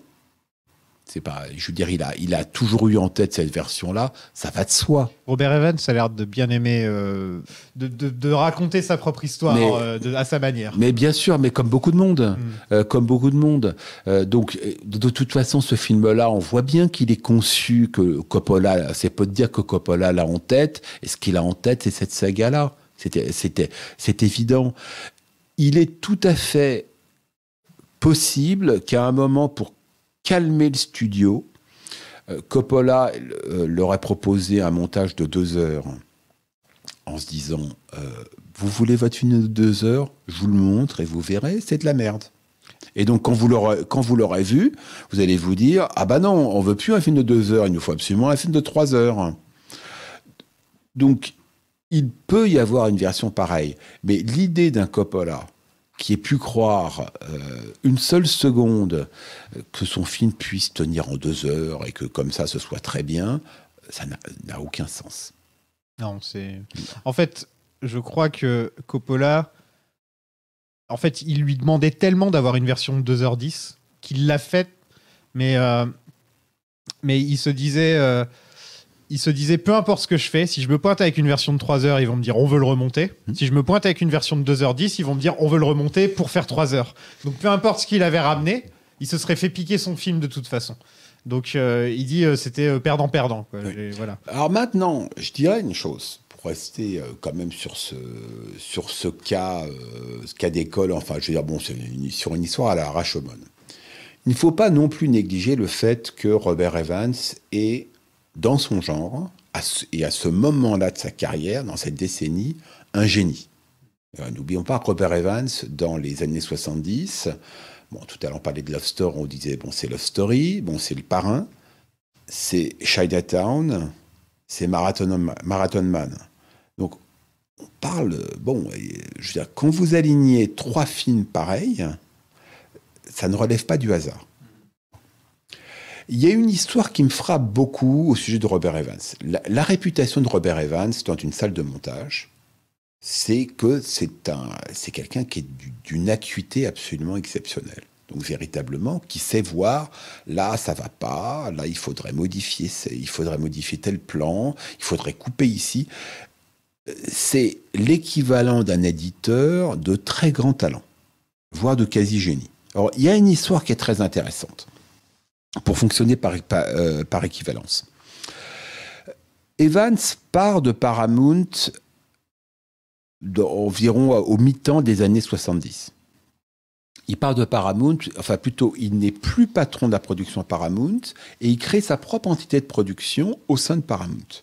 C'est là va, c'est ainsi qu'il va euh, produire Chinatown et, euh, et, Marathon Man. Or, John Schlesinger, le réalisateur de Macadam Cowboy, pas tout à fait un, mau- un mauvais réalisateur, avait réalisé pour Paramount ce film qui est intéressant mais pas complètement abouti, qui s'appelle Day of the Locust, d'après le, roman, le roman de Nathanael West, et qui s'appelle en français, pauvrement intitulé euh, L'incendie de Los Angeles. Et Schlesinger raconte que Evans voit le film. Et donc il voit le film alors qu'il est en train de, de changer de job. Donc véritablement, ça c'est plus sa responsabilité. C'est vraiment, c'est, vraiment pratiquement le dernier film que qu'Evans voit dans son costume de chef de la production de Paramount. Et Evans dit à Schlesinger, écoutez, moi j'aime pas ce film, hein, il me plaît pas, euh, mais néanmoins je me permets de vous dire que il faudrait changer ci, ça et ça sur le film, euh, pour, vous verrez, ça, va l'améliorer de manière euh, très significative. Et Schlesinger raconte que il n'a jamais eu affaire à un producteur formulant des remarques aussi intelligentes et pertinentes, qui n'en revenait pas tellement c'était lumineux.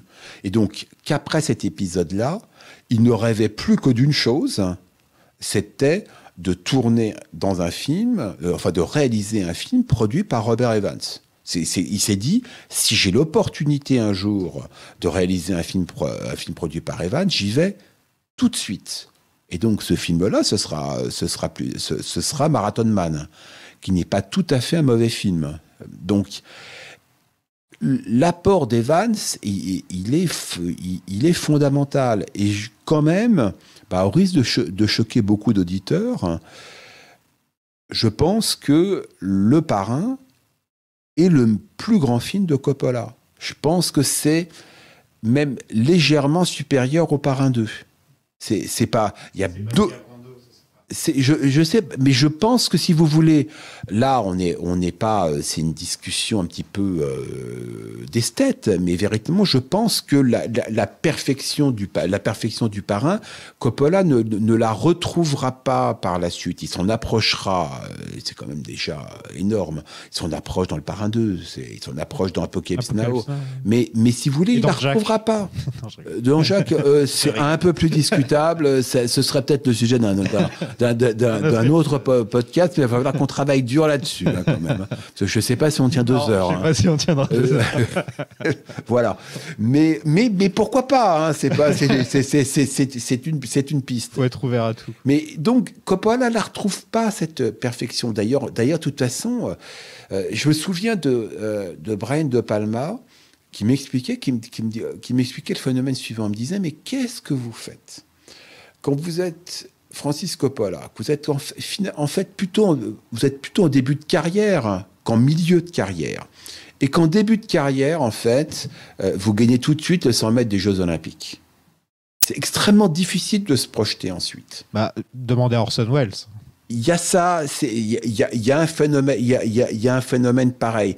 C'est un syndrome un peu différent chez Wells parce qu'il y a, il y a le, il y a la splendeur des Amberson. Je pense que la splendeur des Amberson est un film supérieur à Citizen Kane. Mais il y a la question, euh, il y a la question de, vous êtes en début de carrière et vous réalisez euh, l'un des plus grands films de l'histoire du cinéma. C'est très difficile d'envisager sa carrière euh, par la suite. hein. C'est- C'est di- c'est- c'est difficile. Vous voyez, si on prend Kubrick, euh, les, les, les très grands Kubrick, à part, à- à- les, enfin, les immenses Kubrick, pour moi, c'est à, C'est- part- c'est plus tard à, dans part- sa à carrière. partir de, à partir de 2001. Bah, vous voyez, c'est plus tard dans sa carrière. Plus tard, il y a, il y a, il y a, il y a déjà largement 10 ans de carrière. Et puis, Coppola est à son quatrième film, là, si je me trompe pas, c'est ça? Je il crois a, a fait trois films avant. hein. il y a Démentia 13, Les gens de la pluie, Et, le, la Finian's Rainbow. et la comédie musicale. ouais. Euh, C'est Finian's Rainbow. Euh, Est-ce qu'il y a un Non, je quatrième crois qu'il y en a trois. Il y en a trois. Hein. Si je me trompe pas, il y en a trois. Il y en a trois. C'est un scénariste, je c'est déjà un scénariste oscarisé quand même. C'est donc quelqu'un qui a une, quelqu'un qui a C'est une quand même certaine réputation. film, hein. c'est pas comme s'il venait, enfin, c'est pas comme s'il avait vraiment euh, que son tout premier film ce soit euh, bah, comme comme Orson Welles où là pour le coup c'était vraiment son tout premier film qui a été son plus connu. Absolument. Euh, Euh, c'est jamais les mêmes histoires, mais celle-là, elle est, elle est très intéressante. Mais très intéressante parce que bon, les trois films de Coppola, je dirais, les gens de la pluie, c'est intéressant, mais c'est c'est un metteur en scène que personne ne voit venir, Coppola. Et alors certainement pas à ce niveau-là. Donc c'est pas dans, dans le bon dans le cas de Wells, si vous voulez, on le voit venir aussi. N'oublions pas, c'est certes, c'est Citizen Kane est son premier film, mais c'est une Wells est une star de la mise en scène et une star de la radio. Ah Donc oui. on lui déroule un tapis rouge pour réaliser son premier film. Coppola, personne ne le voit venir. Kubrick sur 2001, si vous voulez, on le, enfin, c'est quand même, euh, c'est le réalisateur quand même de l'ultime Razia, Docteur Feu l'amour. Ça, c'est bon, c'est comme c'est quelqu'un qui est sur la carte. Coppola, il n'est pas sur la carte. Il n'est pas sur la carte au moment du parrain. Il n'est pas. Coppola en plus il faisait il faisait partie du, de, de cette équipe euh, Scorsese, De Palma, Spielberg, Euh, le nouvel Hollywood, quand on dit, bon, on y met beaucoup de choses dans le nouvel Hollywood, mais si vous voulez, le nouvel Hollywood, au sens où on l'entend dans les années 70, c'est-à-dire que si vous voulez, cette génération de réalisateurs euh, qui, irrigue toute cette décennie, donc Coppola, mais William Friedkin, Spielberg, De Palma, Lucas, Scorsese, Scorsese bien entendu, bah, ces gens-là sont pas sur la carte, aucun. Mis à part Friedkin l'année précédente avec, avec French Connection. Mais aucun n'est sur la carte. Donc si vous voulez, vous, le parrain, c'est quand même le film d'un inconnu. Ah oui. Est-ce qu'il peut être considéré comme le film qui a lancé le nouvel Hollywood ou il faut attendre un peu plus? Ah, c'est toujours. Écoutez, on, date toujours ça à Easy Rider. Easy Rider. Bon, Easy Rider qui n'est pas un si bon film. C'est un Non. film important. C'est un film important, film mais c'est vrai que c'est pas un film qu'on a envie de revoir. Voilà, c'est un film qui modifie l'équation. Parce que tout d'un coup, on se rend compte que, tiens, euh, bah, les films d'une époque, euh, les films d'une nouvelle génération, eh bien, font revenir en masse les gens en salle. Donc, il faut qu'on modifie notre logiciel. Voilà ce qui se passe. Maintenant, ce qui se déroule à partir de French Connection, puis, de, puis du parrain, bah, c'est l'idée que euh, les clés du camion, désormais, peuvent être remises aux réalisateurs, donc Mm. aux artistes. C'est ce moment-là qui se, c'est ce moment-là qui est important. Donc, à mon sens, quand on dit Nouvelle Hollywood, c'est en gros cette décennie où les réalisateurs ont un peu les clés du camion. Où on se dit que la théorie de l'auteur peut se produire aussi à Hollywood. Quoi. Oui, voilà.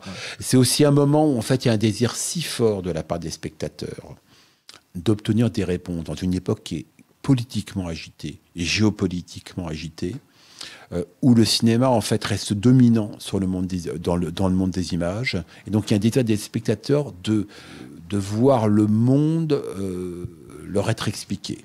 Ils veulent, ils, veulent, ils veulent obtenir des réponses. Et donc ces réponses, ils les attendent de la part des cinéastes. Et donc, quand vous avez un désir si fort du public, eh bien, les cinéastes sont, euh, sont véritablement tirés vers le haut. Mm. C'est important ça. Donc, euh, il y a aussi une chose importante aussi dans, le, dans la nature du Nouvel Hollywood, vous voyez, c'est un cinéma qui est sous très forte influence européenne, Oui. très très forte. Donc, euh, influence, Fellini, euh, influence italienne. Godard. Voilà, influence italienne, influence française. Bon, euh, influence italienne, donc on, Visconti, Fellini, Bertolucci. Voilà, quand je, je parlais, je parlais du conformiste, forte influence française via, via la nouvelle vague, forte influence britannique aussi hein, par, euh, par, le, par, le, par le free cinéma anglais. Donc je dirais que ce sont les trois matrices, euh, le- les, les trois matrices du nouvel Hollywood. Et donc on a affaire à une génération en fait très cinéphile qui a grandi avec ce cinéma européen, qui en a, qui a, qui en a assimilé les principes et, et a su parfaitement le réintégrer dans le système de, produ- dans le système de production hollywoodien. C'est extrêmement intéressant. Mais il n'y a pas de nouvel Hollywood sans l'apport européen.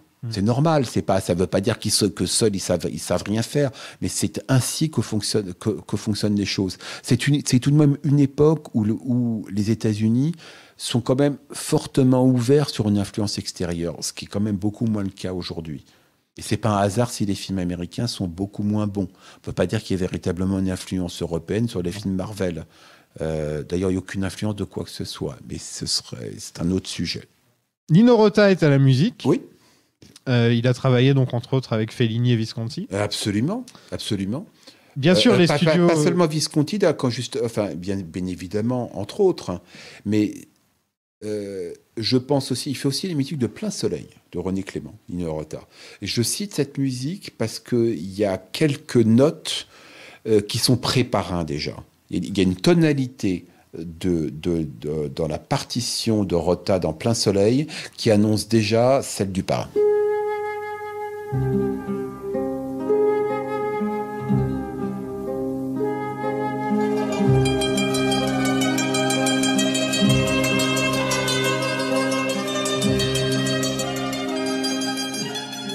Ce qui est intéressant, c'est qu'à l'origine, bien évidemment, le studio Paramount voulait un autre musicien. Il voulait Henri Mancini. Alors Henri Mancini, immense musicien, euh, mais simplement, c'est hors sujet. C'est hors sujet. Et, et- et, euh, c'est- hors sujet pour le parrain. C'était, c'était, c'est juste pas le bon musicien. Ils ont détesté, euh, par exemple, la scène de la tête de cheval. Euh, les studios trouvaient que la musique n'était pas bien. Et, et ils ont eu raison sur le coup. Parce que quand on voit la première version, en effet, la musique n'était pas bien. C'est que ensuite qu'ils ont décidé de mettre deux, chans- deux, deux morceaux ensemble. Et c'est là que ça rend vraiment. Donc, quelquefois, les notes des studios sont pas forcément mauvaises. Sont pas forcément Tout mauvaises. à fait. Tout Et- à fait. Il gagnera l'Oscar de la meilleure bande originale pour le film. Euh, Ligue des droits civiques italo-américaine, euh, gérée par le mafioso Joseph Colombo, a essayé de faire interdire le film car euh, trop de stéréotypes à son goût. Et il a demandé à ce que les mots mafia et Cosa Nostra soient enlevés du film. Et un des producteurs a retrouvé un mot sur son pare-brise disant arrêtez le film, sinon trois petits points. Oui, il y a, eu, enfin, la, la pré-production du Parrain est un film en soi. Oui, C'est tellement un film en une soi série télé. que c'est que devenu une, une série télé. Donc il y a eu des pressions de la mafia, en particulier d'un des d'un des parrains de la mafia, Ouais, Colombo. donc, euh, voilà Joe Colombo, pour soi-disant arrêter la production du film. Bon. Ils ont vite regretté parce qu'ils sont complètement tombés amoureux du film avec le... quand il est sorti. Ils se sont vite rendus compte que en fait c'est la meilleure image qu'ils pouvaient espérer avoir. Ah, c'était une, publicité, mais, Magnifique. publicité merveilleuse. Euh, On les grave dans le marbre. Mais il se passe, faut, faut comprendre au- au-delà des, on va dire, de l'aspect euh, cocasse de l'affaire. Faut comprendre ce qui se, se déroule sur un plan, euh, sur un plan politique à l'époque.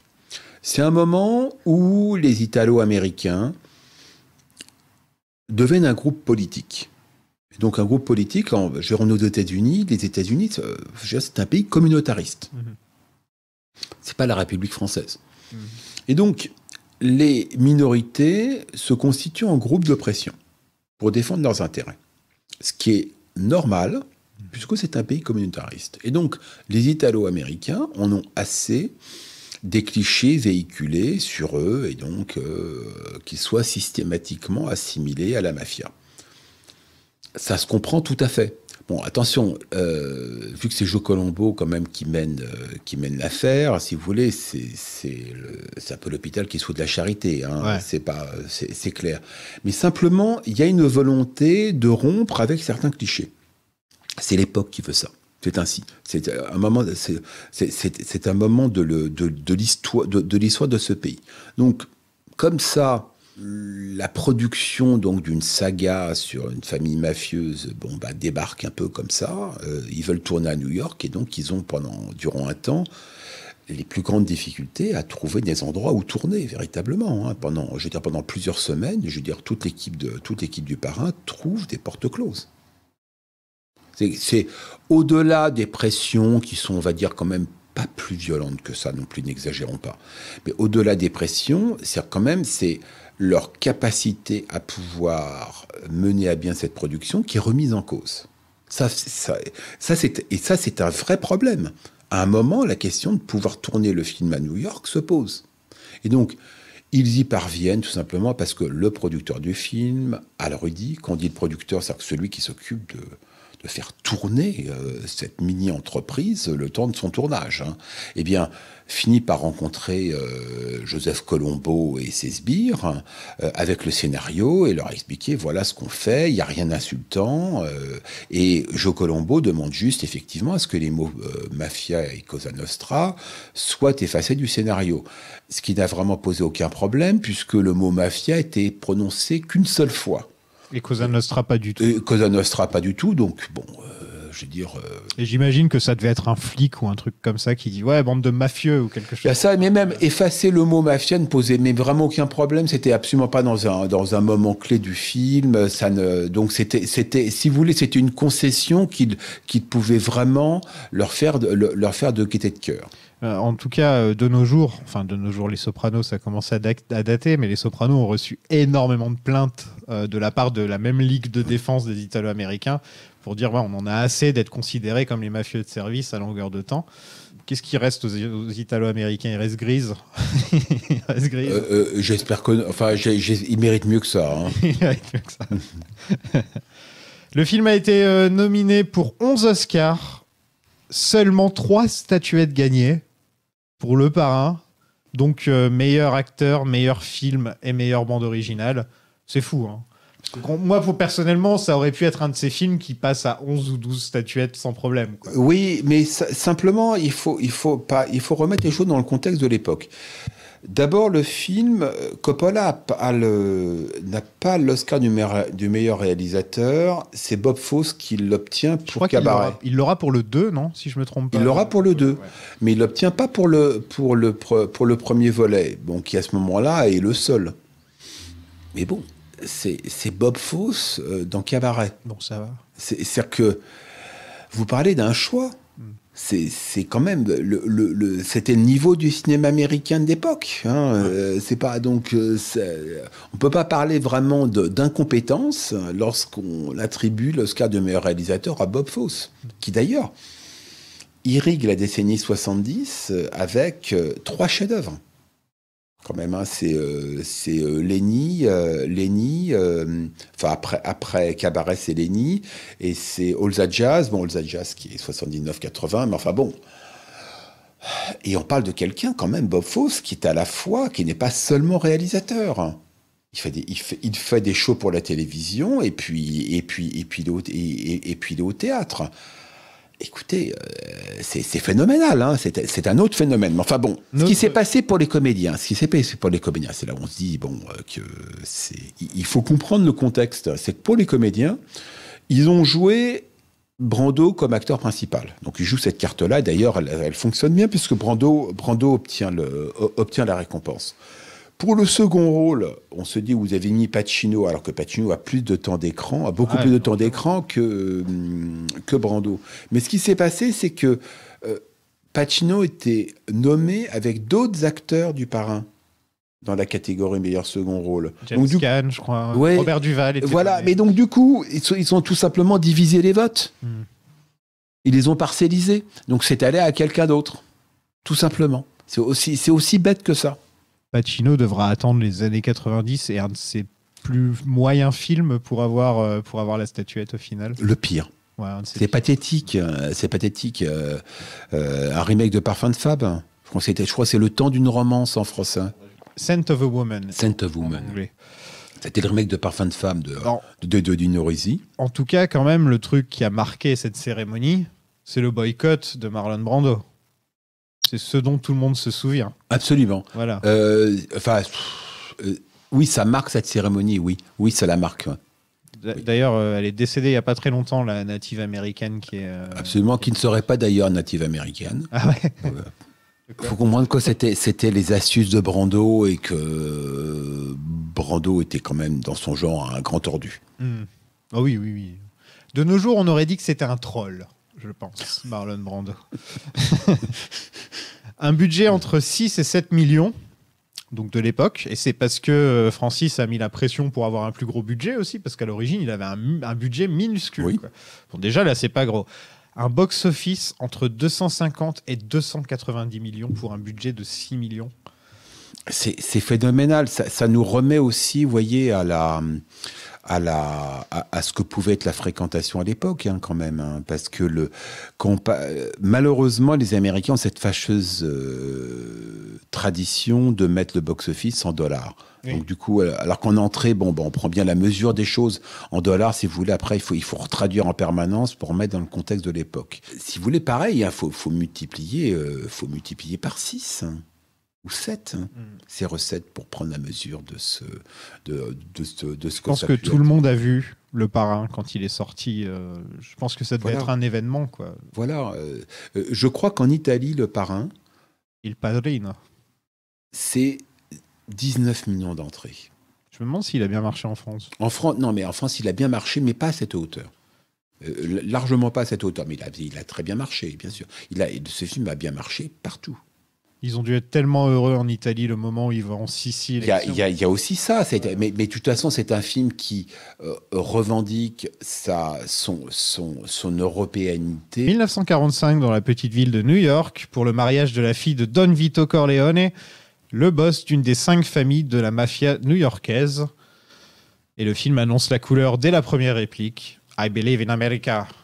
Le rêve américain déconstruit dès la première scène. Oui, ce qui, est, ce, qui est impa- ce qui est quand même très important, c'est que la personne qui dit I believe in America, C'est un croque-mort. c'est un croque-mort.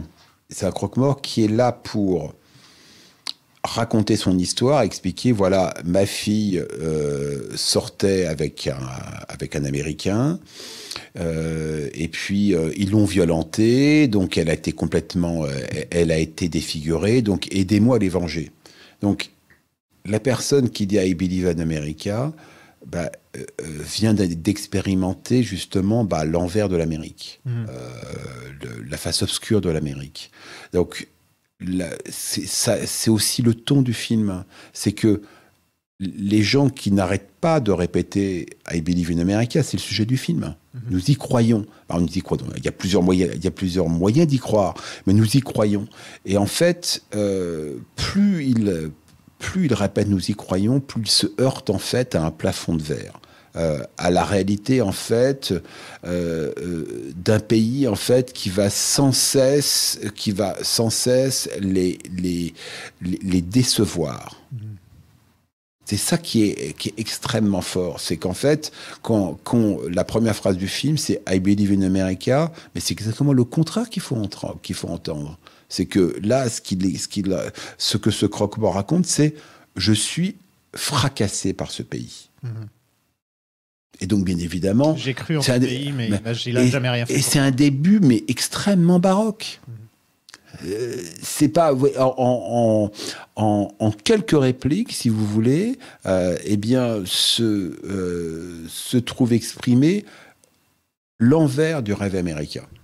Et tous les thèmes du film sont là aussi. Exactement. Il est là pour sa famille, pour sa fille. Et donc déjà, le lien familial est là. Puisque c'est c'est deux choses, c'est le capitalisme et la famille. Et tout est dans cette scène. Et je crois qu'elle n'était pas censée être dans le film à l'origine. Je crois qu'ils étaient censés commencer avec le mariage. Et ensuite, cette scène, que normalement, dans, au niveau du montage, c'était différemment. Qu'on commençait avec le mariage et ensuite on passait Ah, à cette c'est- scène. ça, je ne sais. Vous voyez, ça, vous m'apprenez, vous, vous m'apprenez quelque ça- chose. Ça, n'aurait pas Ouais. fonctionné. Quoi. Ouais, ça, vous m'apprenez quelque chose, mais bon, de toute façon, elle est. Bon, pareil, on va pas la changer, là. C'est pas de dire qu'elle est Ah trop. euh, C'est un des meilleurs débuts de film. De Vous voyez, euh, sur, justement sur l'idée d'un personnage qui, dit, voilà, euh, j'ai cherché ma place en Amérique et je me rends compte que je la trouve pas. Alors vous allez vous dire, mais c'est que le croque-mort. Euh, et le croque-mort, il est en face de Don Corleone, qui lui, bah, c'est totalement épanoui aux États-Unis, parce que bon, nous parlons de quelqu'un qui a commencé par l'huile d'olive et puis qui termine par, euh, puis qui là se retrouve, euh, bon, bah, à la tête d'une mul- d'une multinationale du crime. Hein, c'est c'est- c'est de ça dont il s'agit. Mais vous voyez, c'est pas ça l'histoire. hein. L'histoire, c'est quelqu'un qui a une ambition fondamentale pour, son, pour l'un de ses fils, Michael Corleone. Ce qu'il lui dit à la fin, euh, j'aurais voulu que tu sois sénateur, j'aurais que, tu sois- que tu- que tu sois celui qui justement tire les ficelles euh, et qui se rende compte qu'il ne sera pas cela. C'est pas donc ce qu'il attend de l'Amérique, il ne le trouve pas. C'est pas c'est ce qui est assez bouleversant, c'est extrêmement romantique, ça marche pas comme ça dans la vie, mais c'est pas le problème.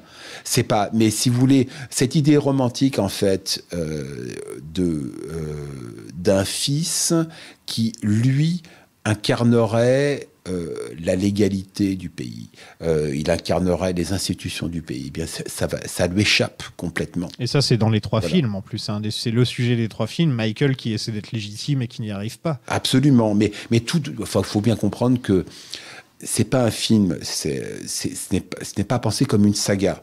Euh, vous voyez, Georges Lucas, il je dirais autre chose, il pense, pense à Guerre des étoiles comme une saga, par exemple, mais pas le Parrain. Ben, Le, le Parrain est, est un film qui se, const- qui se euh, suffit entièrement à lui-même, Oui. entièrement.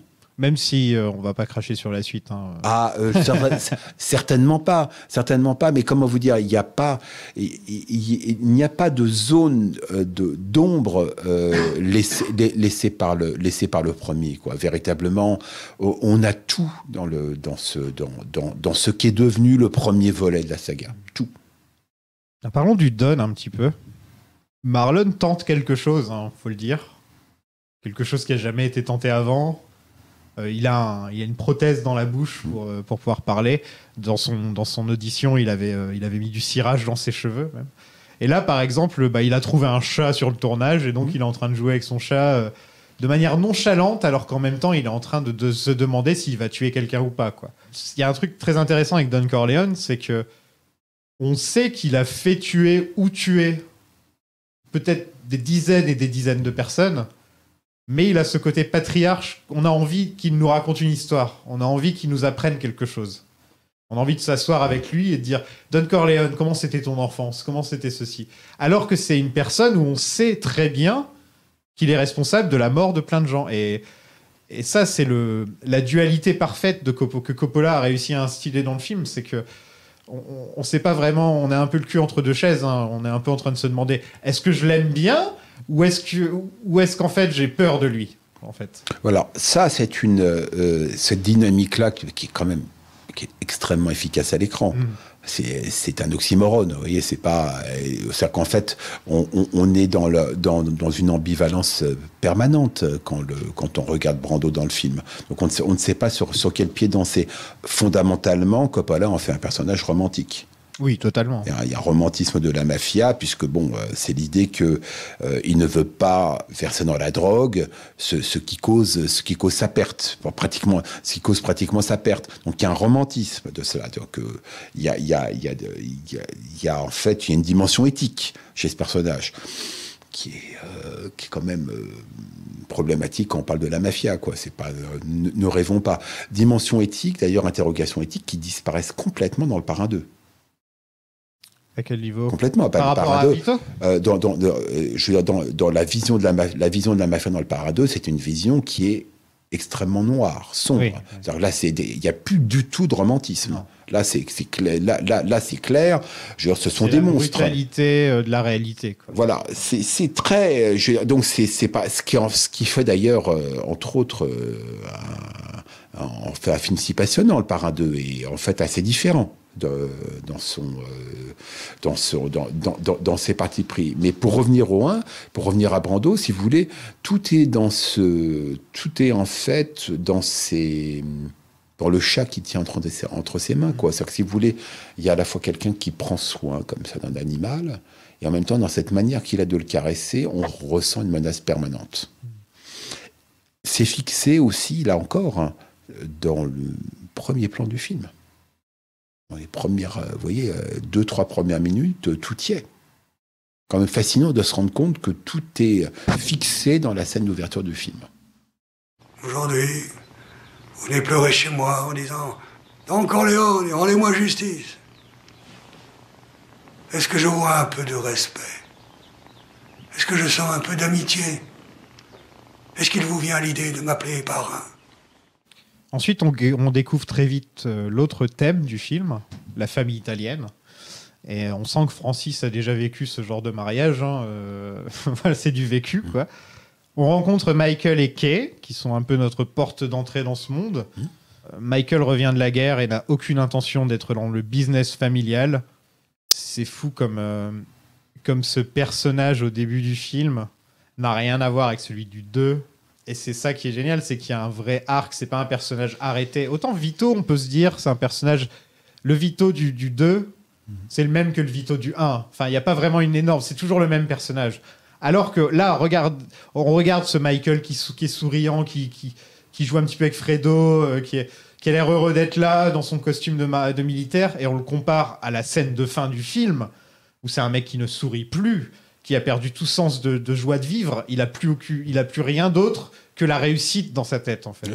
C'est un, processus de- c'est un processus de déshumanisation complet qui se poursuit bien évidemment dans le 2 de manière extrêmement pire, spectaculaire.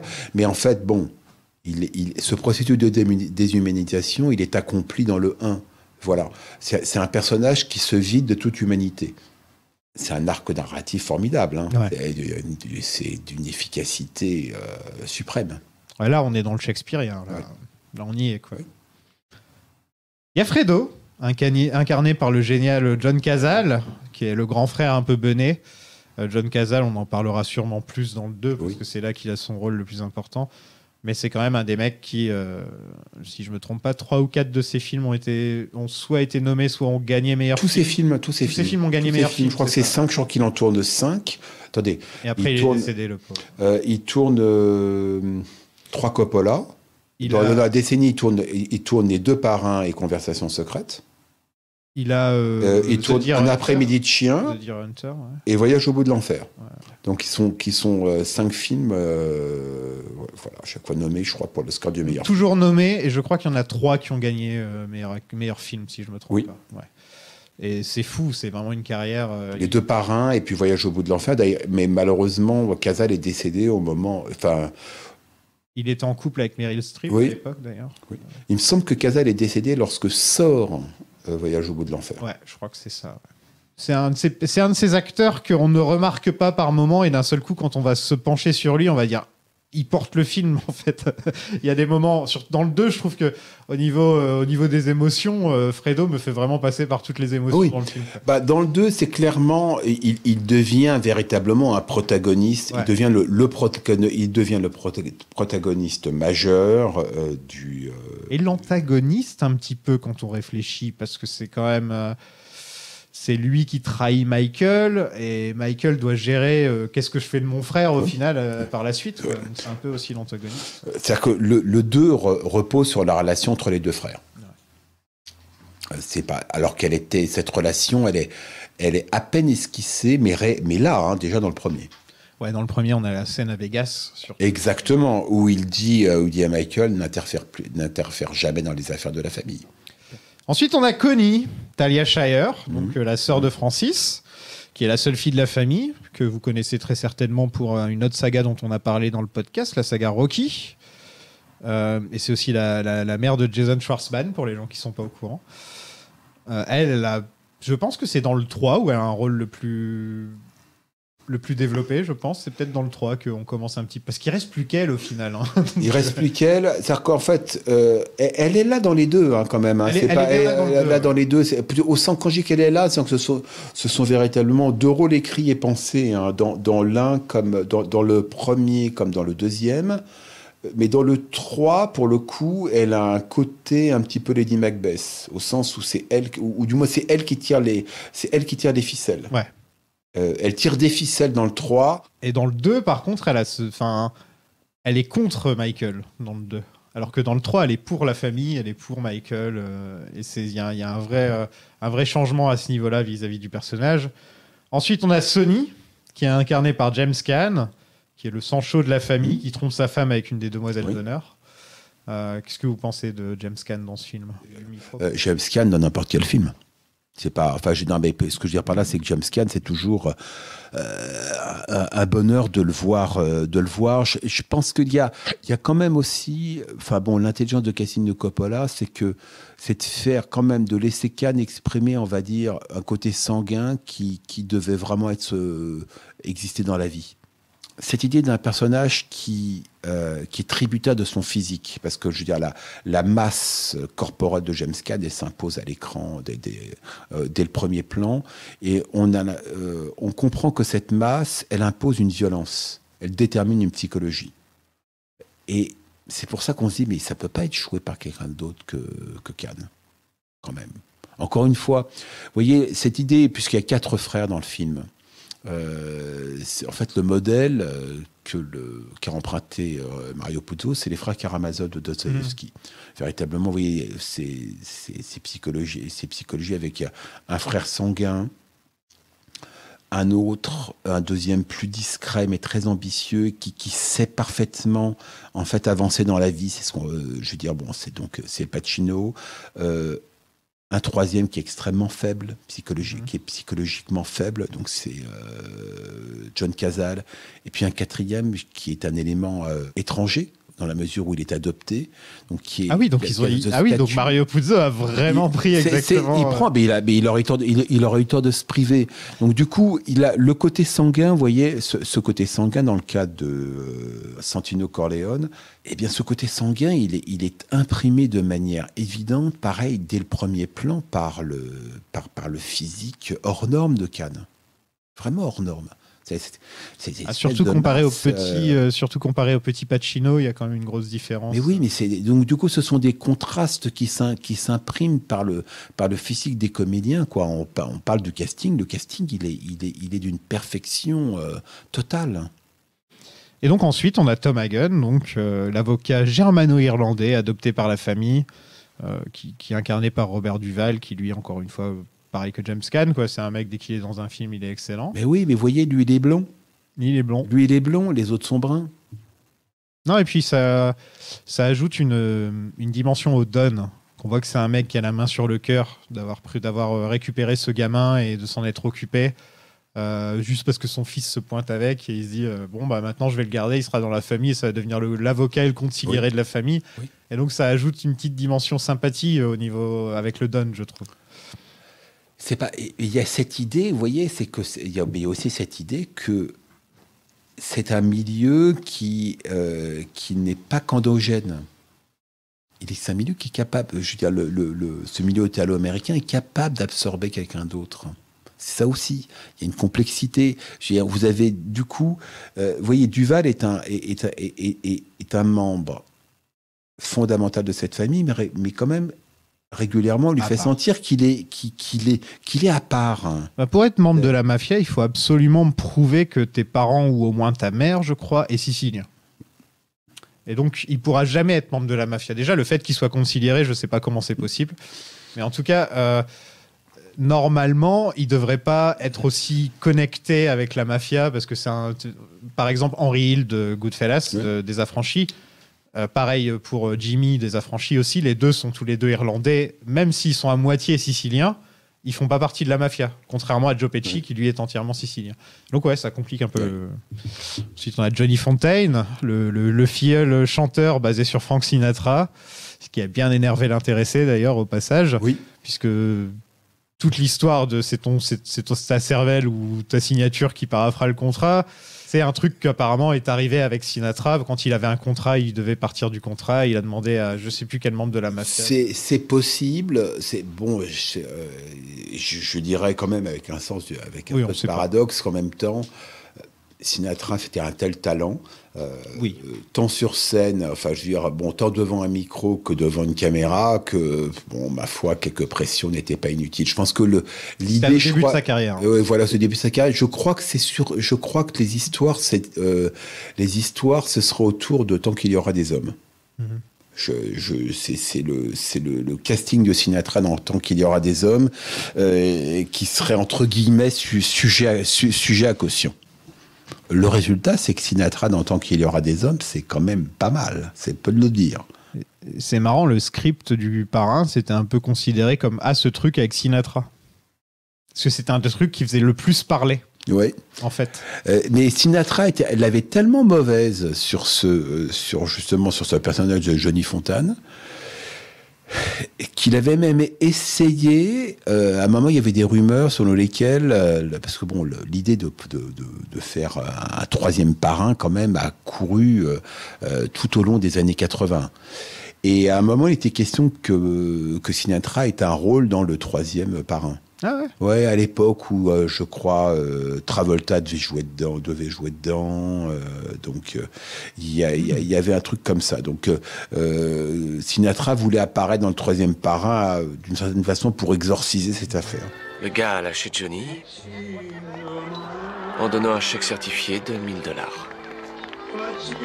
Et pourquoi a-t-il accepté? Mon père lui a fait une offre qu'il ne pouvait pas refuser.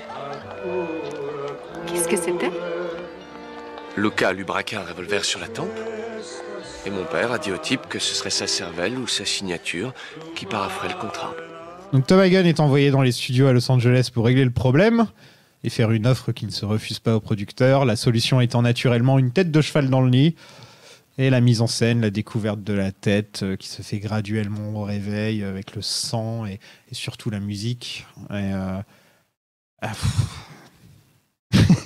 Il y a des fois où je sais pas quoi Ah, dire. bien en fait, je sais pas quoi dire tellement il, c'est beau. de, il suffit de regarder. Voilà, C'est- pas- magnifique. C'est euh, Coppola s'y connaît en tension. hein. Oui. Quand même, il sait filmer une scène de tension. Et puis ce cri, euh, ces cris avec la caméra qui, euh, qui change de plan et qui recule petit à petit, de, qui s'éloigne de plus en plus jusqu'à ce qu'on soit à l'extérieur de la maison avec le cri. C'est une des meilleures scènes de l'histoire du cinéma, tellement marquante et tellement. euh, Enfin, C'était pas. C'est. C'est euh, parfait. Voilà. Ouais. Je pense qu'on va dire ça Ouais. beaucoup pendant, les, pendant le film. Virgil Solozzo, un dealer d'héroïne qui commence à se faire un nom et qui travaille avec la famille Tatalia, veut faire du business avec les Corleone. Sauf que Vito refuse de vendre de la drogue. Mais Sony lui pense que c'est un bon moyen de se faire de l'argent. Donc on a l'ancienne école contre la nouvelle. Et j'ai remarqué que le petit instant où en fait Vito, le moment où Solozzo décide que Vito va se faire tirer dessus, Mhm. c'est le moment où Sony parle dans, ce, dans cette réunion. Oui. Il se dit, Sony est intéressé, donc autant tuer son père, comme ça, euh, ce qui n'est pas une très bonne idée avec le recul. Mais euh, c'est le moment où Sony parle qui met, euh, qui, qui, qui- en fait, qui fait tomber tous les dominos, juste ce petit moment-là. Il perçoit une faille. Exactement. Euh, il perçoit une faille. Mais je pense que fondamentalement, ce que, ce que met en scène le film, ce sont deux conceptions supposément opposées de la mafia. Une conception romantique, à savoir le crime organisé, c'est très bien, mais il faut poser des limites à cela. Et puis une conception plus moderne, plus actuelle, moins romantique, où on se dit, il y a de nouveaux produits qui arrivent sur le marché, donc en l'occurrence ici la drogue. Euh, nous ne pouvons pas laisser ce commerce à d'autres. Il y a trop d'argent à se faire. C'est ce qui a fait couler la mafia pendant longtemps, parce que c'est le FBI qui a décidé de vraiment, vraiment se- attaquer la mafia quand ils se sont mis à vendre de la drogue. hein. Et euh, c'est comme ça que Ouais. c'est comme ça que Euh, est tombé en fait. Il y, y euh, y a quand même un- un- une dimension intéressante à ce sujet dans le, dans le film de Coppola. Tout à l'heure, bon, on évoquait le fait que le, c'est un film sur des communautés. Donc en fait, dans Le Parrain, bah, c'est la communauté italo-américaine en face de la communauté WASP. Euh, Ce qui est exprimé de manière on ne peut plus lisible, voilà, mais qui expli- exprime de manière encore plus lisible au début du Parrain 2. Euh, lorsque, Oui, quand ils ont la- la- Lo- Lorsque, lorsque Pacino reçoit la visite d'un sénateur Ouais. qui lui explique écoutez, vous êtes italien, euh, vous êtes. euh, voilà. euh, euh, vous restez des étrangers, quoi. Mm. Euh, c'est pas. Donc, c'est. c'est donc, on a deux communautés, entre guillemets, face à face dans le parrain. Mais en fait, on en a trois. Il y en a une troisième qui intervient par la drogue et qui est, et qui, et qui est, et qui est évoquée, euh, qui est évoquée par, par d'autres lorsqu'il y, a- lorsqu'il y a cette réunion de des parrains de la mafia dans le, dans, dans le, dans le film. C'est absolument extraordinaire. Où, où il y a un des parrains qui dit Mais bon, de toute façon, qui va consommer de la drogue? Ce sont des noirs. Ouais, donc ce grave. sont des animaux. C'est pas bon. Donc bon, euh, qu'est-ce que c'est- qu'est-ce que ça peut faire? Le racisme scène casuel, formidable. Voilà, mais et qui tout d'un coup, en fait, c'est l'insertion d'une troisième communauté. Hmm. Et, et troisième communauté, on dit, mais celle-là, en fait, de toute façon, qu'est-ce que ça peut nous faire? Mais elle existe. Ouais, C'est-à-dire que les Italiens euh, se sont toujours sentis comme euh, oppressés un petit peu, euh, comme une. Il y avait du racisme hein, contre les Italiens pendant longtemps. hein, je veux dire, plus maintenant parce que c'est fini tout ça. Mais pendant longtemps, pendant longtemps, c'était un problème. Mais euh, on peut voir que euh, y a encore une communauté en dessous qui souffre encore plus, qui elle vraiment euh, comparée aux Italiens, c'est rien en fait. Une sorte d'ordre des choses, c'est qu'il y a d'abord le WASP, en dessous l'italien et en dessous le noir. Quoi. Oui, absolument. Ouais, ouais, ouais. Dans, cette hiérarchie, de toute façon, il y a toujours quelqu'un en dessous de vous, Mm. et le noir est tout en bas.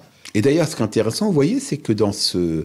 En fait, vous voyez, quand on regarde des films de Black Exploitation, bah, qui irriguent toutes les années 70, euh, et qui sont, qui, qui- sont un, des, un des piliers industriels quoi, du, euh, de l'Hollywood des années 70. hein. C'est- Ça se réduit pas seulement, seulement au nouvel Hollywood, mais enfin, oui, tous ces films comme Shaft, Superfly. Foxy Ah, Brown. euh, bah, c'est- c'est- ce sont des films qui mettent en scène l'insertion de la drogue dans les inner cities américaines et donc au sein des quartiers noirs. Donc en fait, la dynamique que met en scène le parrain eh bien, se matérialise dans les années 70. Très intéressant. Ça, c'est un truc que les sopranos et les affranchis vont très très bien faire. Ça nous montre à quel point c'est des cons, voire des bofs. Quoi. Les- les- la plupart des, des, des- des mafieux, c'est pas des mecs intelligents. C'est vrai que le parrain te donne cette idée que Vito et Michael sont très intelligents. Ils sont shakespeariens. Ouais, Euh, par exemple, chez Scorsese, je pense à, je pense à Goodfellas, ouais, mais chez Scorsese, ce sont des crétins. c'est complètement. une bande de crétins. Ce qui est d'ailleurs quand même un- une des, des gageurs de films, parce que si vous voulez, vous mettez en scène des crétins, pour le moins euh, méchants et dangereux, Mais on en a. il faut quand même, euh, quand même qu'il y ait un minimum d'identification, parce que sinon le spectateur lâche, lâche le film. Donc c'est bon, l'un des tours de force des affranchis, c'est que le film marche, avance en permanence sur la cordorette. Mais là, chez Coppola, c'est une mafia shakespearienne, véritable. Bon, ben, bien moins qu'elle n'existe pas cette mafia-là, euh, telle qu'elle. Mais, cela- mais cela n'a aucune importance. Parlons de la violence. Oui. Parce que là, on arrive à la scène où Luca Brasi va rejoindre les poissons. Oui. Et, euh, et la scène de la tentative de meurtre sur Vito. Euh, La scène de, de Luca Brasi est d'une violence totale. Oui.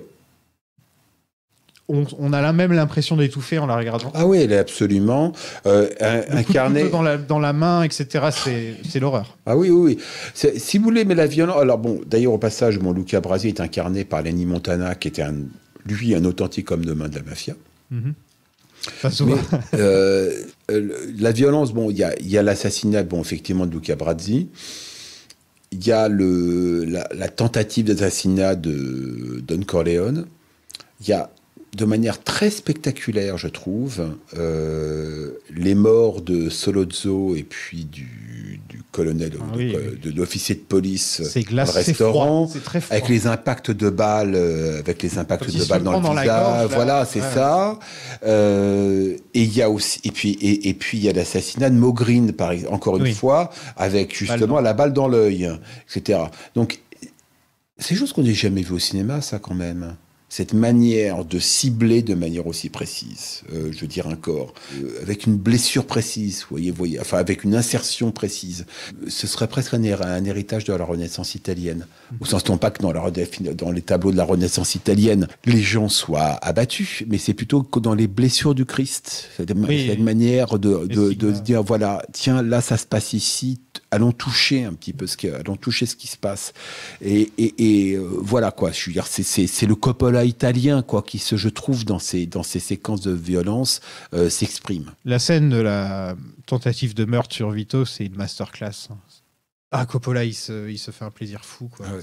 C'est pas mon Brando, euh, non, cette, mani- cette manière qu'a Brando, qu'a Brando de tomber quand même est, Oui, euh, oui, oui, oui. est véritablement étonnante. Et puis bon, en fait, la, la dramaturgie ultime, c'est sous les yeux de son fils qui sort son pistolet et qui lui échappe des mains.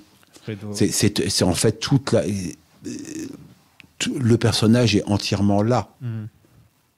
Il n'y a, y a, y a plus rien à rajouter. Il y a d'autres choses à raconter qui sont racontées dans le, dans le, qui seront racontées dans le 2, mais tout est là dans cet instant-là. Ouais. Je veux dire, un fils qui n'est pas en mesure d'intervenir pour sauver son père. Toute l'impuissance de ce personnage est là. Donc toute sa tragédie intime est là. Et qu'est-ce que c'est que ça? C'est un message sicilien. Ça veut dire que Luca Brasi dort avec les poissons. Tom Hagen se fait kidnapper, rien ne va plus chez les Corleone. Clem- Clemenza fait une bonne sauce italienne. Et ça, c'est la pâte Coppola. hein. Oui. Euh, authentique, comme je disais. euh, on a vraiment, on a l'impression d'être avec eux et qu'il est en train de nous apprendre à faire la sauce. quoi. Enfin, les Sopranos le feront aussi euh, à peu près dans chaque épisode. Ouais. Il y aura une scène comme ça dans les Sopranos. Dans les Affranchis, quand ils, quand ils sont en prison et qu'ils coupent l'ail avec, le, avec la lame de rasoir, ça aussi. En fait, tout ça, c'est que des scènes qui viennent de là. En Ouais, fait. absolument. Ouais. Absolument. Absolument. Bon, chez Scorsese, il y a autre chose parce que Scorsese est issu de ce monde, quand même, c'est important. Oui. D'ailleurs, pour la petite histoire, c'est quand même bon ce qu'a expliqué Coppola, c'est que Coppola tenait pas spécialement à réaliser le deuxième parrain et avait proposé que. À Marty euh, avait proposé que ce soit Scorsese qui le réalise. Il a proposé à Paramount euh, que ce soit Scorsese qui le Je- le, réalise. le- le pire, c'est que personnellement, j'aurais pas dit non. Personne ne dira non. Euh, mais bon, euh, là encore une fois, on, on ne le verra pas. Mais, encore- mais bon, euh, on, on est beaucoup mieux, euh, je pense. avec- il- il fait- la, la logique, Ah oui, le- la logique que ce Francis, soit que ce soit Coppola Ah qui réalise, qui réalise ce diptyque. Je pense que l'instant vraiment clé du film, c'est le moment où euh, Michael sauve son père à l'hôpital. Ah, mais bien sûr, c'est le moment de bascule. De voir son père si fragile. Moi, ayant vécu euh, avec un père qui avait un cancer et qui, avant ça, était un mec fort et très, euh, très euh, imposant. Et avec le cancer, petit à petit, il a été réduit à- au plus bas, à ce qu'on peut faire de plus bas. Et ça m'a, en fait, c'est là que j'ai eu ce déclic. Je me suis dit, ah, c'est le moment où il, il veut protéger son père comme il voudrait protéger un bébé, quoi. Oui, mais, mais qu'est-ce que se passe-t-il là? C'est que effectivement, c'est le moment où il se, met- il se range du côté de son père, il se range du côté de la famille. Mais au moment où il se range du côté de la famille, où justement il y a un contact physique avec son père. Enfin, je veux dire, c'est pas. Eh bien, c'est un pacte avec le diable. Ouais. C'est que tout d'un coup, il renonce à tout ce qu'il tout ce qu'il avait constitué auparavant pour désormais devenir euh, peu à peu ce monstre déshumanisé qui va prendre en charge cette famille. Mais la prendre en charge de la manière la plus atroce possible. Et je pense que s'il y a une personne qui est responsable de la destruction de la famille Corleone, c'est entièrement Michael. hein. Bah, bien sûr, Il n'y a pas. euh, Bien enfin, sûr. Il suffit de voir les suites, quoi. Bien sûr. Mais même sans voir les suites, dans le premier, on sent déjà euh, qu'il a, il a, il a tout perdu, quoi. Enfin, même, même, si, même si Fredo est encore là, même si. on sent qu'il est plus. euh, mais c'est la, la trajectoire de Pacino dans le parrain, dans les, enfin, dans les, dans les, deux, dans les deux parrains, si vous voulez, c'est qu'on commence avec Henri V, si vous voulez, ce personnage, euh, ce personnage un petit peu dilettante, délétère, refusant la responsabilité de la, de la royauté pour, pour le jeu et l'hédonisme. Presque d'une seconde à l'autre switch pour le pouvoir, hein, euh, et euh, bah, qui termine euh, bah, dans la solitude de Richard III, quoi, la solitude et la paranoïa surtout de Richard III. C'est, c'est la trajectoire de Michael, de, de- de Michael Corleone sur les deux parrains. D'Henri V à même Richard sur- III. Et même sur le 3, au final, euh, sur le 3, c'est encore plus appuyé. Mais c'est vrai que la scène de fin du 2 où on voit juste Michael seul sur le banc, ça aurait pu être une Mais très le- bonne fin. Oui, mais le 3 n'apporte rien. Il apporte, Il apporte il rien. apporte sa fille. Bah, bah, il aura... Non, mais pitié. euh, il apporte Sofia Coppola. Il apporte. Il non, apporte non, mais je parle pas de Sophia, je parle Euh, plus du personnage. Oui, il apporte la fille. euh, bien. Oui, d'accord. Mais est-ce que euh, sur la il- compréhension des personnages, qu'est-ce qu'il euh, il n'apporte rien Il se penche beaucoup plus sur la religion, le 3. Voilà, c'est peut-être. Ouais. Parce que le, ouais. le, le premier est sur la famille, le 2 est sur la politique, et le 3 est sur la. la- sur, enfin, si on veut vraiment juste en baser ça en un seul mot. hein, on- Ouais, euh, écoutez, vous faites des efforts pour le défendre. Bon, moi, Ah non, non, je- moi, je moi, c'est tellement. longtemps, euh, Je l'ai pas vu depuis longtemps. Donc. moi, je sais pas, c'est ce Vous avez vu la version longue ou? Bah, c'est une version, Enfin, la une version- version longue sans être longue, Ouais, en fait. dire, mais, ça euh, change... mais non, ça change rien. Ouais. Il y a juste Ça une change. Euh, aucune version ne ramènera Robert Duval et aucune version n'effacera Sofia Coppola. Voilà. Donc c'est mort. Ah, et le petit instant aussi très important, c'est quand il allume la cigarette d'Enzo, le pâtissier, Oui. et qui tremble pas. Enzo est en train de trembler et Michael. et lui, il tremble pas. Et c'est là que c'est le moment où il regarde ses mains et il comprend. J'ai l'étoffe du tueur. ça. Exactement. Ouais, absolument. Michael se rend à un rendez-vous avec Solozzo dans le but de le tuer lui et son flic ripou. Et on a le bruit assourdissant du train qui, encore une fois, Coppola s'est filmé de l'attention. Ah, c'est moins qu'on puisse dire. Euh, euh, c'était ju- justement, c'était tourné. Ils avaient soigneusement trouvé le restaurant. Euh, ça intéressait beaucoup Coppola que le restaurant se trouve justement à côté de la ligne de la ligne de la ligne de métro. Mais on va dire le fait qu'il y ait ce métro, justement, il se dit bah voilà, on va pouvoir jouer là-dessus. Donc c'est la, la, la scène est en partie guidée par le son. C'est enfin bon, c'est Pa- un pareil, il n'y a c'est- pas de sous-titres quand il parle en italien.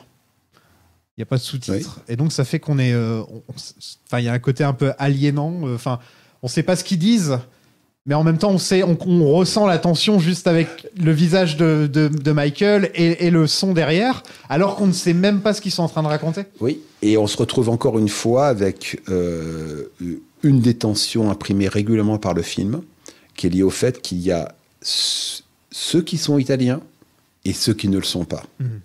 Et ces gens sont mélangés. Et ceux qui ne sont pas italiens sont, se trouvent en porte-à-faux. Et la manière de montrer euh, cela, c'est par la langue.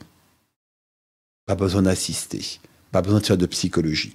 Le simple fait de se mettre à parler italien imprime une direction différente. C'est remarquable. hein. Non, et Vraiment, c'est- c'est c'est- malin, en fait, aussi. c'est très. Ouais. C'est en jouant cette scène, euh, enfin Francis a montré cette scène à Paramount, et c'est là qu'ils ont décidé de le laisser tranquille. Oui, c'est là qu'il décide, et bien évidemment, comme j'ai dit tout à l'heure, il décide de ne pas virer Al Pacino. Mais bon, là, euh, ce n'est plus possible. Une, après une performance pareille, bon, on a compris qu'on est. euh, Le visage de Pacino où il est en train de, il est, on ressent toutes les émotions sur son visage quand il est en train de parler, et lui il regarde un peu dans le vide comme ça, son regard passe à droite, à gauche. Il le joue comme un chien qui est, qui est, qui est prêt à mordre. Oui, on sent, on sent qu'il est stressé. On sent le stress. Ah, c'est, euh, on sent le stress, c'est parce que c'est parce que c'est le moment le plus important de son existence. Ouais, c'est ça. Et c'est aussi d'ailleurs le moment le plus important de l'existence de l'acteur Al Pacino. S'il rate cette scène, il peut être viré. Et, donc, et derrière, il n'a pas de carrière. De la même manière que pour Michael, Corleone, il peut ne plus y avoir de- de- d'existence après euh, cette scène. C'est peu fréquent. hein. Une, une tension pareille est, est très inhabituelle. Il est sympa ce film. Ouais.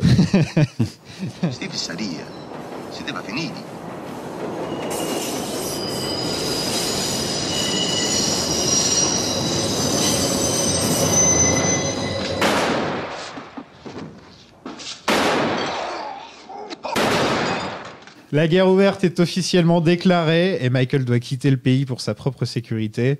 Il va se cacher en Sicile. Il visite la ville de Corleone et rencontre sa future femme qui est plutôt grecque qu'italienne, Apollonia. Et là, on est pris dans un nouveau film d'un seul coup. D'un seul coup, on est emmené en Sicile et ça change le, le rythme du film, ça Euh, change la manière dont c'est filmé. C'est pas du tout le contrat initial. C'est enfin plutôt c'est c'est pas une chose que l'on peut anticiper Non. le, le- sur sur la base de la de la première partie du film du tout. Et c'est et c'est là de toute façon que se noue une autre complexité qui est justement l'italianité de Coppola, qui est à ce point revendiquée. Mhm. Et puis c'est aussi bon bah ce, moment c'est, aussi cette époque où, Hollywood en fait a un dialogue profond avec le cinéma européen. Parce que bon, cette partie-là en Sicile, c'est, euh, en gros euh, Salvatore Giuliano. Et puis il y a toujours quand même l'énorme risque dans une séquence pareille, bah de, de, tout à coup de se retrouver pas seulement avec une dramaturgie différente, mais en fait avec une esthétique qui part dans tous les sens. Vous voyez cette séquence comme une séquence de retour aux sources. Oui. Euh, euh, c'est pas, c'est le le personnage de Michael Corleone ac- accomplit une mue complète parce qu'il retourne dans le pays de son père. Alors qu'auparavant, c'était quelqu'un qui avait rompu avec les, euh, qui avait rompu avec la généalogie familiale, et donc avec le territoire. Il voulait plus rien avoir avec ça. Et donc, il accomplit sa mue en fait de, de- en deux étapes. D'abord, en devenant un criminel. C'est le rite initiatique, ou l'épreuve initiatique, voilà. Un meurtrier. Euh, voilà, j'ai accompli cette épreuve-là, donc je peux prétendre au trône. Et aussi pour, pour la compléter, parce qu'on a film d'une richesse inhabituelle, pour la compléter, il retourne sur la terre de son père. Donc il s'en imprègne. Et donc, fort de, ce- de ces deux éléments, qu'on retrouve quand Pacino retourne sur le territoire américain, c'est c'est cette scène saisissante qui, elle, a été tournée en fin de tournage. Je crois qu'elle a été tournée d'ailleurs, je crois, euh, à côté de San Francisco, donc chez Coppola. Enfin, euh, chez Coppola, c'est cette scène où Pacino retrouve Kay, et puis c'est pas le même homme.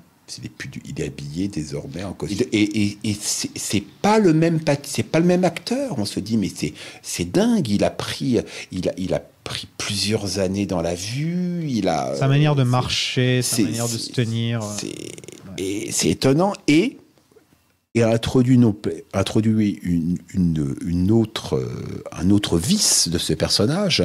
C'est désormais un criminel, on le sait, mais c'est un menteur patenté. Parce qu'il va chercher euh, Kay et lui dit voilà, non, mais moi, je, bon, je reprends les affaires de mon père, mais ça va être autre chose. Euh, je veux dire, on va être sur des. euh, je veux dire, bon, l'idée, c'est de rentrer dans la légalité.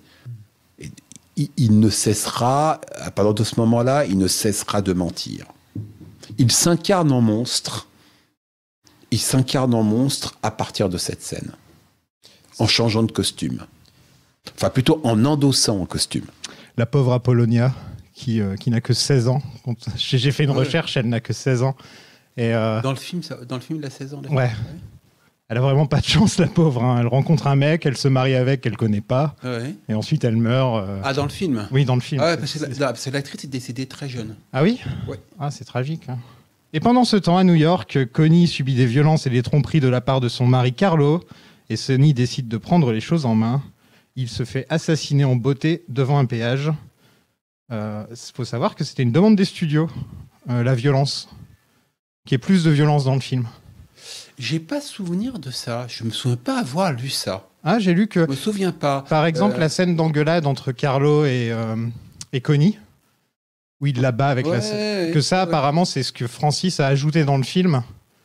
Coppola a ajouté dans le film, a mis plus de scènes un peu plus dramatiques de violence comme ça. en fait. Parce que je vois pas Coppola euh, obtempérer. obéir, ouais. Non, c'est je le vois pas euh, monter en gamme ou descendre en gamme parce qu'un parce qu'en fait un patron de studio le lui a demandé. Mhm. C'est véritable, c'est entièrement son film. Ouais. Alors il a eu un mal fou à faire son film, hein, Oui. ça c'est clair, Oui. mais c'est entièrement son film. À tous les postes possibles, véritablement, c'est c'est son film. Mais c'est rare que Enfin, même si c'est pas le cas, que les studios demandent plus de violence. Normalement, les studios veulent toujours moins de violence. Ouais, Et là, c'est pour ça, moi, ça me, ça me, ça me surprend un peu. Bon, bah, la, la, la mort de James Caan euh, au Mhm. péage, autre scène euh, emblématique du film, elle, par sa scénographie, elle reprend la fin de Bonnie and Clyde et bien Ah oui. évidemment l'ordre sauvage. Euh, on, on- on est dans cette, dans, dans, dans cette esthétique, c'est qu'en l'occurrence de l'hyper-violence. Ouais. Donc, enfin, On oublie le réalisme, en fait. limite. Comment? On oublie le réalisme. Ah, mais bien de toute façon, on oublie toujours, un grand metteur en scène oublie toujours le réalisme. Mhm. Ce qui ne veut pas dire que ce ne soit pas authentique. Non, et j'aime par exemple la scène où Sonny euh, se bat contre Carlo dans la rue.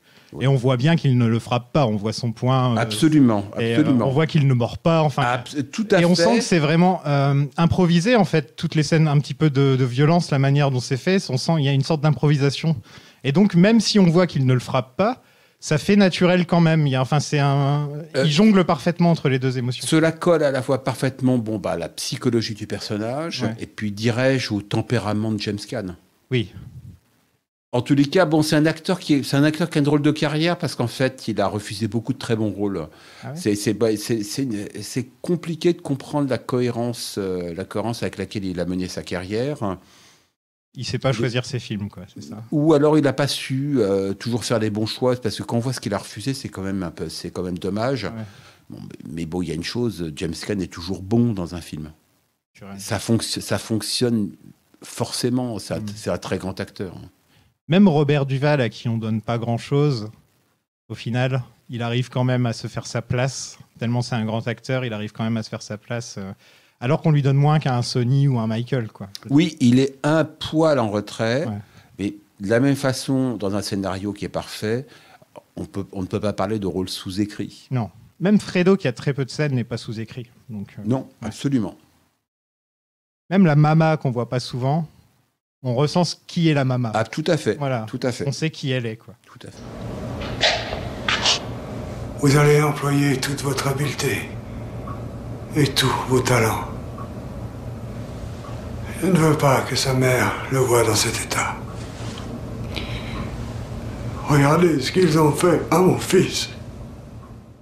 Don Corleone va rencontrer les autres familles de New York pour mettre fin à la guerre, et ça, c'est euh, des choses qui sont vraiment arrivées dans la vraie vie. hein. Les cinq familles de New York qui se, re- qui se réunissent et qui font la commission, c'est des choses qui ont vraiment existé. Je ne connais pas assez bien l'histoire de la mafia pour vous dire s'il y avait Ouais. véritablement un conclave de, ce, de Oui, cet oui, ordre-là. Il y en a eu. Il y en a a- eu des réunions qui s'appelaient la commission. Oui. Et, euh, et souvent, c'était les cinq familles qui se réunissaient, plus les autres New Jersey, etc., comme dans le film. Et euh, quelquefois, ils votaient pour qu'il y ait un capo di tutti capi, c'est-à-dire le chef de tous les chefs. Et là, il deviendrait le, parrain de tous les parrains, en fait. Euh, par contre, euh, là, ce qui, est, cocasse, c'est qu'au moment où le film rentre en production, l'idée d'une guerre entre, non pas, pas seulement entre, entre familles de la mafia, euh, apparaissait quand même comme une idée pour le moins baroque aux yeux, tant aux yeux du studio qu'aux yeux d'ailleurs de Coppola et toute l'équipe, parce que ça ne s'était pas produit depuis des années. Donc il se disait quand même, on arrive avec une histoire quand même qui... euh, est-ce que, que les gens vont croire à une histoire pareille? Parce que véritablement, aujourd'hui, je veux dire, des guerres entre familles, ça n'existe plus. Or, paf, quelques, quelques, quelques, temps, euh, quelques temps avant la sortie du film, euh, je veux dire... euh, Il y a eu les Bonanno, etc. non, non, et puis Colombo, Colom- Ouais, Joe Colombo. Joe Colombo a été victime, a été, a- a été victime d'une tentative d'assassinat Mhm. qu'il a laissé d'ailleurs handicapé, handicapé à vie. Et bah, la guerre, la guerre des familles a repris. Et c'est comme dans le film, c'est-à-dire qu'ils vont vivre dans des appartements, ils disent euh, on va sortir les, les matelas. C'est ça l'expression, sortir la matelas. Dans les sopranos, ils disent aussi cette expression régulièrement. Et ça veut dire bon, bah, on va aller vivre dans un studio et on va rester caché. euh, malgré tout le glamour, enfin, Coppola montre que les mafieux sont un peu tous, un peu tous des opportunistes, euh, pas forcément très malins, c'est plus des vrais opportunistes en fait. Et, euh, et racistes un peu sur les bords, on le voit dans cette Ah, scène. c'est pas, c'est pas sur les bords, Ouais, c'est complètement raciste, voilà, hein, c'est- on le absolument. voit dans- sur, cette, sur cette scène. Et en plus, c'est des mauvaises personnes. Ils n'hésiteraient pas à vendre de la drogue aux enfants. Ah, c'est le message du film. Mais c'est la voilà. mafia, euh, Ils c'est la n'hésiteraient mafia. pas à, à, à- à- droguer des enfants. Quoi. Absolument. Euh, sauf que dans la dramatisation du film, Il y a l'idée qu'il y a euh, une mafia ancienne génération, inca- incarnée par Vito Corleone, qui fonctionne sur des principes. Et puis une mafia nouvelle génération, bah, qui en fait est euh, incarnée, que, que construit en fait Michael Corleone, et qui, elle, avance sur euh, des fondamentaux très différents. Et c'est la drogue qui a tué la mafia. Enfin, la mafia existe toujours, elle existera toujours tant qu'il y aura du jeu, des femmes, enfin, de ce genre de choses. Il y aura toujours de la mafia. Mais ce qui a tué la grande mafia, c'est la drogue. Parce que quand tu, quand tu vends de la drogue, tu prends des peines beaucoup plus élevées que pour euh, juste, euh, pour juste du jeu ou ce genre de choses.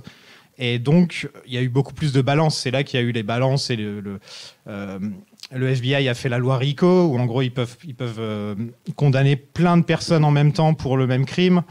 Et, et donc, c'est ça qui a fait tomber la mafia. C'est, et donc, le film a un message en disant. euh, ma- Enfin, le Don Corleone a tout à fait raison sur, à plein de niveaux, mais en plus, il a raison sur le fait que ça va tuer la mafia si on s- si ils se mettent à vendre de la drogue. Sauf qu'il était inévitable que Ah oui, euh, c'était faire. impensable. Voilà. Voilà, c'était impensable, c'est ainsi.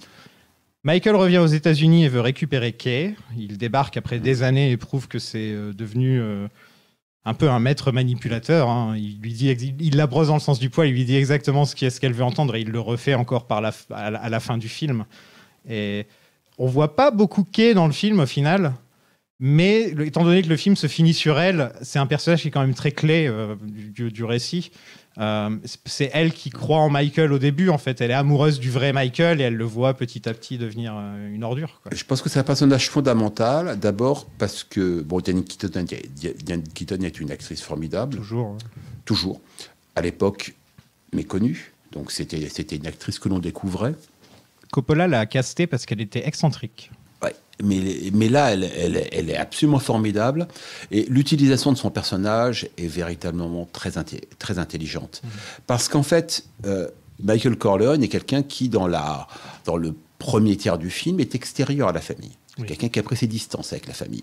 Et donc, cette personne qui prend, euh, qui prend ses distances avec sa famille, bah, s'est fiancée avec une américaine. Donc, avec quelqu'un qui a une distance ontologique fondamentale avec cette famille. Et c'est justement, elle est fiancée avec cet homme-là parce que c'est entre autres sur le contrat que justement il rompt avec, euh, avec cette, euh, cette tradition, euh, cette tradition, enfin cette culture, cette, cette généalogie du crime qu'il va reprendre. C'est tout, le- c'est, tout le sujet, c'est tout le sujet de cette saga d'ailleurs. Sauf que elle, le personnage de Kay, bah, restera tout, reste en permanence extérieur à cette, à cette famille. Donc du coup, son regard extérieur, en fait, devient le regard le plus pertinent pour permettre au spectateur de comprendre ce qui se passe. Et c'est d'autant plus fort que c'est un personnage qui ne s'exprime presque pas. Elle pose des questions, mais elle ne donne pas son point de vue. On- et on le comprend par son regard. C'est le regard. Voilà. Tout à fait. Remarquable, Mm. remarquable, encore une fois. D'où le dénouement du film, le dénouement du film absolument fabuleux, Ce- parce que ça se termine par son point de vue. Mon père est exactement comme n'importe quel homme d'affaires. Il est comme tous les gens, responsable de vie humaine. Comme un sénateur ou un président. Est-ce que tu te rends compte à quel point tu es naïf? Pourquoi? Les sénateurs et les présidents ne font tuer personne. Hein Qui est naïf en ce moment? Michael débarque à Vegas où Fredo travaille désormais avec Mo Green, euh, qui est basé sur Bugsy, Bugsy Oui. Siegel, le gangster qui a fondé Las Vegas. Et euh, il y a eu le film Bugsy. euh, Absolument. avec, De Barry Davidson avec Warren Beatty. Warren Beatty, voilà. C'est- le, fils de famille que l'on place dans un casino. Il a enfin un peu tous les droits, donc il se laisse un peu aller à coucher avec toutes les serveuses, etc. Il sert à rien en fait. Ouais, voilà. Mais c'est, enfin, dé- déjà, la grammaire du personnage, elle est clairement posée. Il sert à rien au sens où il ne trouve pas son utilité. Et c'est lui le grand frère en plus. Absolument. Donc, d'un point de vue euh, vraiment purement italien et famille italienne, c'est censé être lui qui doit reprendre le flambeau. Absolument, c'est lui qui a le droit d'aînesse. Et là, au final, il est pas son petit frère Michael, qui est beaucoup plus jeune que lui, euh, se retrouve à être plus euh, plus légitime pour être. Absolument, c'est, c'est, c'est, c'est tout. le- les, les fondamentaux de la famille sont euh, totalement remis en cause par la personnalité très marquée bah, des frères. Y en a un qui est trop faible pour euh, reprendre euh, un quelconque flambeau. C'est Alors, expliqué dans le 2 d'ailleurs qu'il a des petits problèmes quand il est petit. Quand il est bébé, il est Oui. malade. Donc c'est un peu expliqué dans le 2. Tout à fait. Déjà petit, fait. il était comme ça. quoi. absolument, il a toujours été comme Hmm. ça. C'est vraiment le canard noir de la famille. Quoi. Ouais, euh, mais magnifique, euh, magnifique personnage également. Ouais, ouais, ouais. Surtout, enfin, surtout dans le 2 où on, on peut que avoir de la sympathie pour lui, même s'il fait des très mauvais choix dans le 2. Euh, je veux dire, il trahit sa famille hein, quand même. Oui. Mais il le fait plus par bêtise qu'autre chose. En Mais fait. bien On sûr, peut il y a pas, pas on de- peut pas lui en vouloir en fait. Il n'y a pas de plan de sa part, hein. il n'y a, y a aucun plan. On a le droit à une scène magnifique entre Brando et Pacino, qui serait certainement une de mes scènes préférées du film, où ils sont dans le jardin et ils discutent entre eux. Absolument, qui est une leçon de, de politique. Et aussi de, de mise en scène, la manière où, il- où le plan est fait, où il y a le, où il y a le Don sur la- au premier plan et, et Pacino un petit peu derrière. Ils sont tous les deux de profil quand ils se parlent. Je trouve ce plan magnifique. Absolument.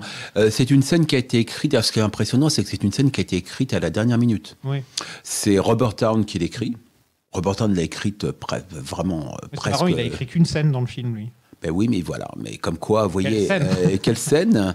D'ailleurs, la, la scène est, est- est si marquante que lorsque Coppola reçoit l'Oscar, donc du meilleur film, hein, c'est lui qui vient Oui. le chercher. Hein, C'est bien ça. Oui, oui, c'est ça. Meilleur Euh, film. C'est le euh, producteur, le Non, euh, est-ce qu'il reçoit, est-ce qu'il reçoit pas également Non, non, non. Il dans chercher l'Oscar du meilleur scénario. Et quand il vient chercher l'Oscar du meilleur scénario, Coppola mentionne Robert Town. Hmm. Il remercie Robert Town. C'est très inhabituel parce qu'en général, bon, bah, sur un scénario passe plein de scénaristes. Oui. Ces scénaristes ne sont jamais figurent jamais ne figurent bien évidemment pas au générique et sont jamais mentionnés par les, résé- par, par les réalisateurs. Donc là, c'est tout à fait inhabituel. Ce, ce- enfin, ce qu'a fait Coppola est véritablement assez exceptionnel. Mais c'est vous dire bon à quel point sur ce sur cette scène précise, bon bah Robert Town a quasiment du génie. que ce soit la mise en scène ou les dialogues, c'est.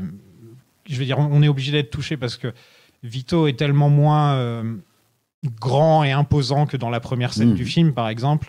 Et quand il lui dit j'aurais préféré que tu sois gouverneur, Corleone, sénateur, Mm. Corleone, on peut, on peut sentir la tristesse du mec de se dire mon fils préféré, parce que c'est clairement son préféré, hein, je veux dire, c'est clair et net, même dans le 2, on le voit. Et mon fils préféré, que je voulais qu'il soit légitime, il se retrouve à continuer mes conneries, en fait. Et. euh, et c'est horrible, il lui laisse euh, ce qu'il lui laisse derrière. En fait, c'est c'est ce qu'il voulait pas justement lui laisser. Lui, il aurait préféré que que, que vraiment son fils devienne quelqu'un, mais pas quelqu'un dans la mafia. Quoi. Mais c'est tout le c'est le c'est le drame fondamental du film. Je dirais c'est presque le subplot, c'est que quelle que soit euh, la réussite de l'entreprise Corleone, parce que du point de vue euh, de la mafia, c'est une réussite Mhm. hors du commun. Mais quelle que soit la réussite de cette entreprise, en fait, c'est un échec. Car Vito Corleone a bâti cet empire pour qu'il devienne justement légitime. Ce mot legitimate qui, euh, qui, qui revient, euh, qui revient euh, régulièrement. Légitime, c'est pas uniquement nous passons à une activité qui nous permet de ne plus être sous les radars de la loi. Parce qu'en fait, bon, bah, être sous les radars de la loi, ils, sont- ils semblent ils semblent s'en accommoder fort, fort bien quand même hein, dans cette. euh, Ne plus dans- salir les mains, je crois. Euh, c'est aussi ça. hein. c'est devenir des, devenir des Américains plus vrais que C'est nature. ça, ouais. C'est ça, l'enjeu. Euh, devenir légitime, c'est devenir des, de- devenir des Américains plus vrais que nature. Donc, du coup, intégrer l'institution, c'est donc devenir sénateur, gouverneur. Or, c'est un échec retentissant. Et Ils sont renvoyés constamment à leur identité. Ça, c'est, dirais-je, le subplot du. de toute euh, la saga. Voilà, Parce voilà. que Michael essaie d'être légitime dans le 2, il essaie d'être légitime dans le 3. C'est euh, son but dans la vie, c'est d'être légitime et il y arrive Et jamais jusqu'à voilà. la fin et ça lui coûte sa fille au final. Exactement. Et euh, ouais, ouais, c'est vrai que c'est le subplot du film, c'est un des thèmes vraiment très importants de, de cette saga. I want to be an American. Et ben, il n'y arrive pas complètement. Seulement, j'ai jamais voulu ça pour toi. J'ai travaillé toute ma vie et j'en suis fier à prendre soin de ma famille. J'ai toujours refusé d'être un pantin, de danser au bout d'un fil tiré par des gros bonnets. J'en suis pas honteux, c'est ma vie, mais je voulais que, quand ton heure viendrait, que ce soit toi qui tire les ficelles. Don Vito Corleone meurt en jouant avec son petit-fils. euh, une, me- une mort en famille, hein, loin de toute la violence derrière son autre vie, et surtout Une mort qu'on aimerait tous savoir un petit peu. Je sais pas. Enfin, moi, je sais pas laquelle je traumatiser veux. Mon petit, Moi, mon le petit plus fils, tard sera le mieux, c'est tout. Je veux pas C'est- traumatiser mon petit-fils, mais une, une mort comme ça en s'amusant avec, son, avec la- la- sa descendance, euh, je trouve qu'il y a une sorte de po- c'est poète. C'est enfin, pour un mec qui adore sa famille plus que tout. C'est une belle fin pour lui. En tout cas, c'est plus beau que la fin de Michael Corleone qui finit sur un banc euh, Ouais, en Sicile Ouais. tout seul. Quoi. Euh, lui, il a une vraie fin Mm. familiale que ce que Michael Mm. a totalement perdu au, au final. Quoi. Michael devient le parrain du fils de Connie et pendant le baptême, il fait le ménage. Et là, on a le, le sacré et le profane. hein. C'est ça, que, que- comme, on- comme ils disent les Américains, où on mélange, euh, on mélange le religieux et la violence totale. Dans, dans, dans, dans la séquence de règlement de compte, Oui, en fait. hein. Je veux dire, bon, enfin, t'as le montage alterné, etc., qui est une, C'est une séquence. euh, On n'a pas trop parlé du montage, mais le montage est parfait aussi dans le film. Je veux dire. C'est quand même extrêmement difficile à faire et c'est euh, euh, ça fonctionne à la perfection. euh, je veux dire entre le entre le baptême donc de la fille de de, Michael Corleone et puis euh, bon bah la, la la manière dont dont il nettoie tout. Ouais, il tue, il tue Mogrin, il tue les Barzini, il tue Voilà. les Natalia. Il tue, il tue tout le monde. Il tue tout le monde. Il tue tout le monde. Et il fait ça dans chaque film en plus. hein. Il fait ça dans- il fait ça dans C'est un peu la petite marque de fabrique ouais, du parrain où dans chaque film il va faire le ménage. Ouais. D'ailleurs, on a droit à ce montage alterné à la fin du, à la fin du, du, du Parrain 2. Mhm. Ça fonctionne très bien. Pas autant. Pas autant. Pas autant. Ce qui me fait penser que le Parrain, le premier volet, est encore supérieur au second.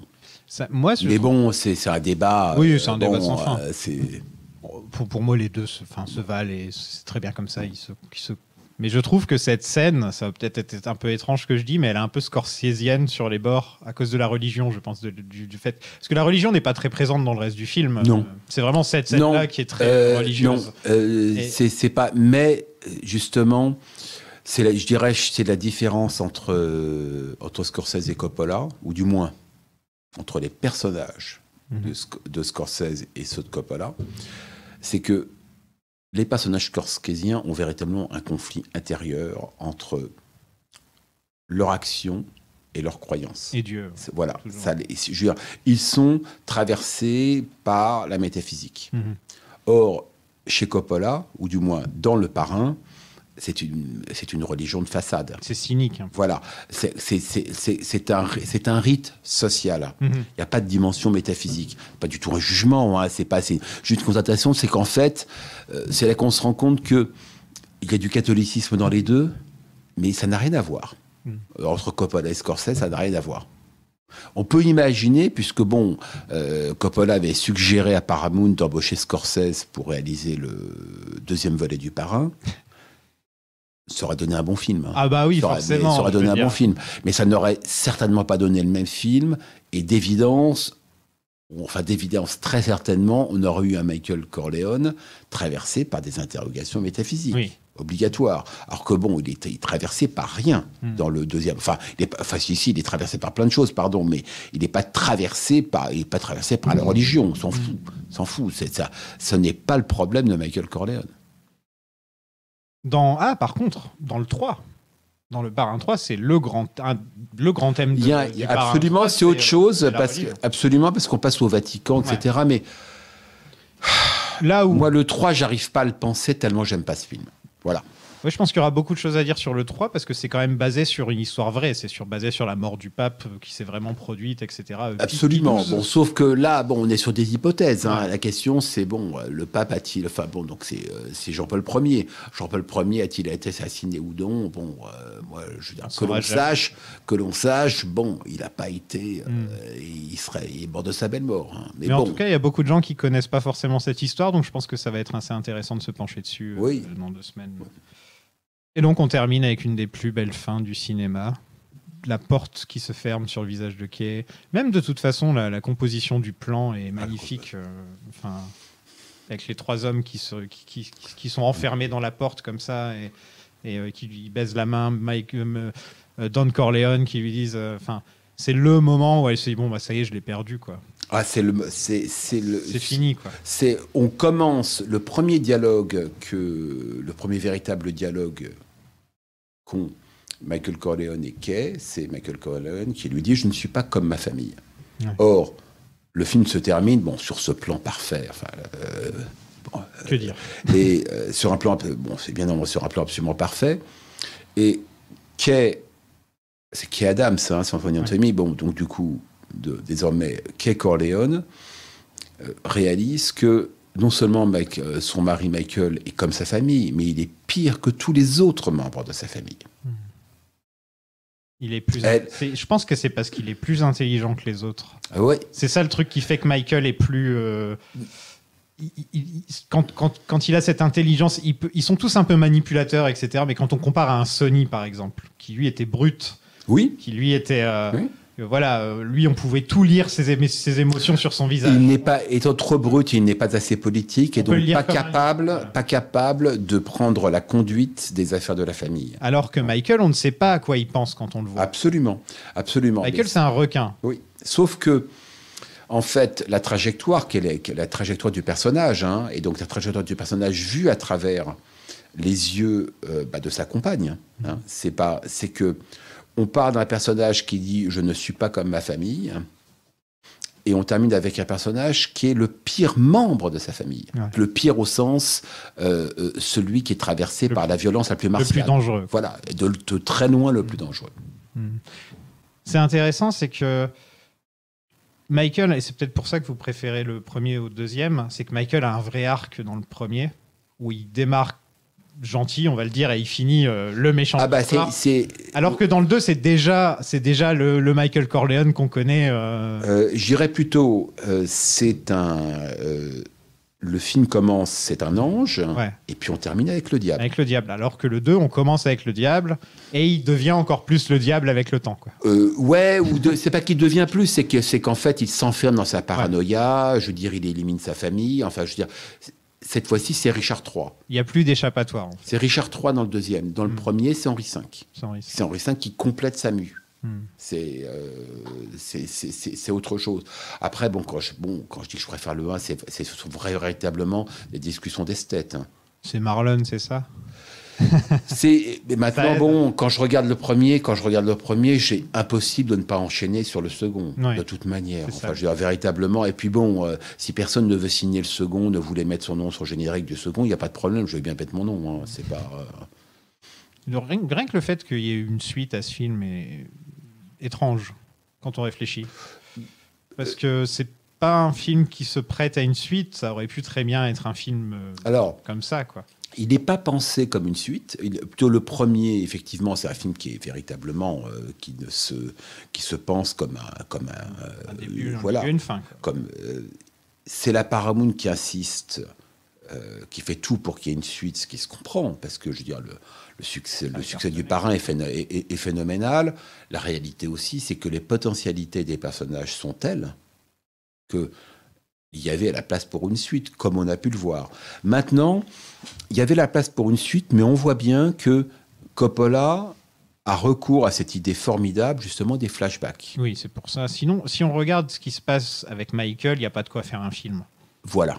Voilà. Il n'y a pas de Voilà. quoi faire un film entier. Voilà. Par contre, si on le met en parallèle avec son père au même âge, ça- là, ça- là, voilà. là, on a vraiment. Là, Là, on a quelque là, on a un film, c'est le moins qu'on puisse dire. Voilà. Et simplement, à mon sens, c'est ma sensibilité, tout simplement, c'est ma sensibilité, c'est que le, le premier est véritablement tellement fluide. Enfin, je veux dire, il y a, il y a là véritablement. c'est- C'est. euh, un miracle. Est-ce que c'est le meilleur film de tous les temps pour vous? Oh, ça n'a pas de sens. euh, Il y, a, il y a 100 meilleurs films de tous les temps. Ouais. Euh, c'est pas. Meilleur film américain? Non, non, mais même pas. non, non, non, non. C'est- simplement, voilà, c'est- une œuvre d'art euh, parfaitement aboutie. Je pense qu'en tout cas, si on dit que c'est le meilleur film de tous les temps, il y a personne qui va dire ah non t'as tort quoi. Non, mais ce je- genre de je- film où ça rentre. Je peux pas, j'ai pas, pas- vous dire, j'ai pas vous dire si on reste dans le cinéma américain, ça m'apparaît pas, euh, je, je, je vais pas, ça pas sans de dire que ce soit meilleur que La prisonnière du désert ou 2001 l'Odyssée de l'espace ou Chantons sous la pluie Citizen ou Citizen Kane. Enfin, je veux dire, enfin, je préfère encore davantage La splendeur des Amberson. Euh, c'est pas, voilà, voilà, je, moi je, je choisis pas, je prends, je. Parce je que maintenant c'est la mode de tout classer, de tout, euh, de faire des top 5. des Ouais, top 10, moi, je, euh, bon, c'est c'est pas, c'est c'est pas mon truc. Je n'arrive pas, j'allais dire, c'est- on, on dit comme ça, je m'en lasse pas. Non, c'est pas ça, c'est pas l'expression. Je n'arrive pas à ne pas le regarder au moins une fois par an. Je crois que c'est tous les deux ans pour moi. Mais ça veut dire quand même beaucoup. Ah, c'est quand même, c'est. euh, Et ça, c'est depuis que j'ai 8 ans. J'ai vu le parrain quand j'avais 8 ans. J'allais à un, un vidéoclub. C'est comme ça que j'ai découvert le cinéma et que je suis vraiment. Et le mec me disait Ah, tu devrais regarder ça, c'est Star Wars. Allez hop, tu vas regarder Star Wars. Et un jour, je suis allé le voir et je lui ai dit Je m'en souviens encore. J'aimerais bien un truc un peu plus. euh, un, un- un truc d'adulte. Je sais pas pourquoi j'ai dit ça. euh, Je veux un truc. euh, Et il me dit Bah, tu connais le parrain? Je fais non. Et donc, euh, j'ai regardé le parrain à 8-9 ans, je pense. Et il y a certaines scènes où j'étais en, train de me cacher derrière, enfin la scène du de la tête de cheval, j'étais.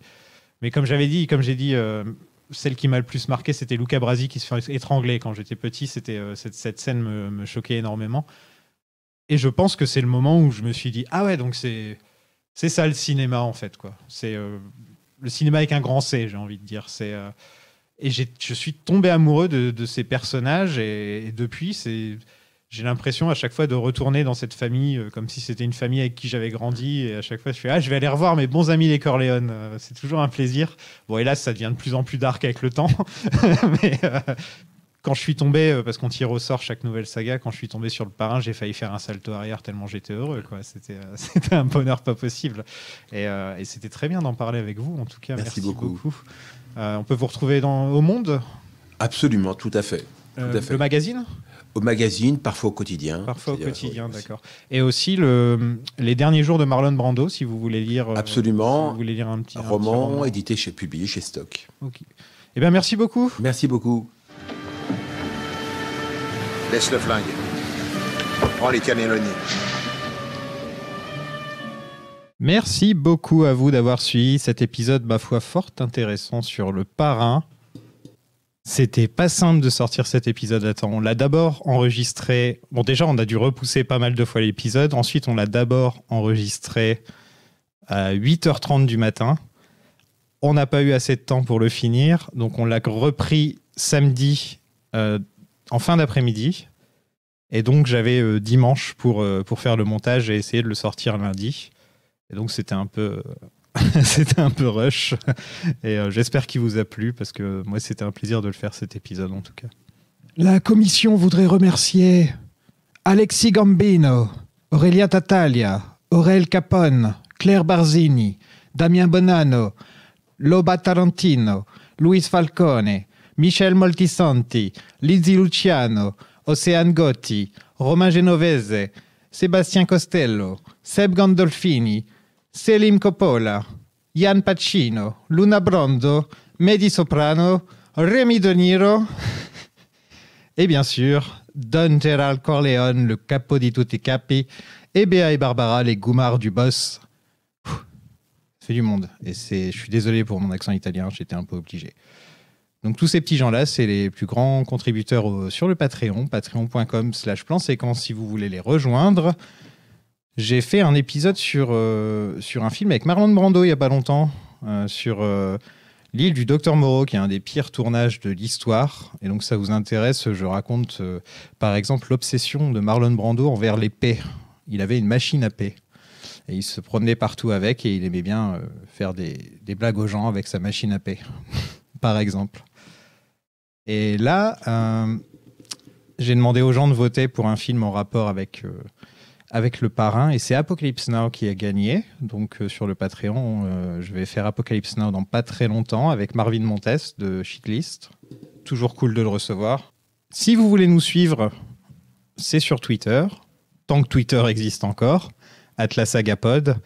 Et sinon, il y a un Discord où on discute régulièrement, où on discute tous ensemble. Et si vous aimez bien ce que je fais euh, avec ce petit podcast, n'hésitez pas à mettre 5 étoiles sur euh, Apple Podcast ou sur Spotify. Ça fait toujours plaisir. Franchement, c'était très sympa cet épisode sur le parrain, euh, de parler avec quelqu'un qui s'y connaît vraiment sur le sujet. Et c'est dans ces moments-là que je me rends compte que j'ai vraiment un bac moins 2. ah, et j'ai oublié, avant de partir, sur le Patreon, il y a des goals. Et tous les 50 nouveaux membres du Patreon ont fait une saga en particulier. Donc pour 150 patous, c'est les membres du Patreon, on avait fait Jurassic Park. Et là, on vient de passer les 200. Et les 200, la saga, c'est Le Seigneur des Anneaux. Donc ça veut dire qu'après le parrain, la prochaine saga sera Le Seigneur des Anneaux. C'est une plutôt bonne nouvelle, je pense. On fera le Hobbit aussi, au passage. On fera le Hobbit.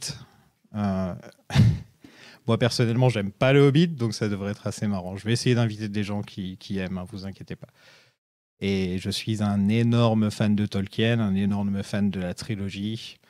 Et donc, ça va être un, un vrai plaisir de, de parler de ça avec des invités intéressants. Je pense que ça va être notre saga de Noël, Le Seigneur des Anneaux.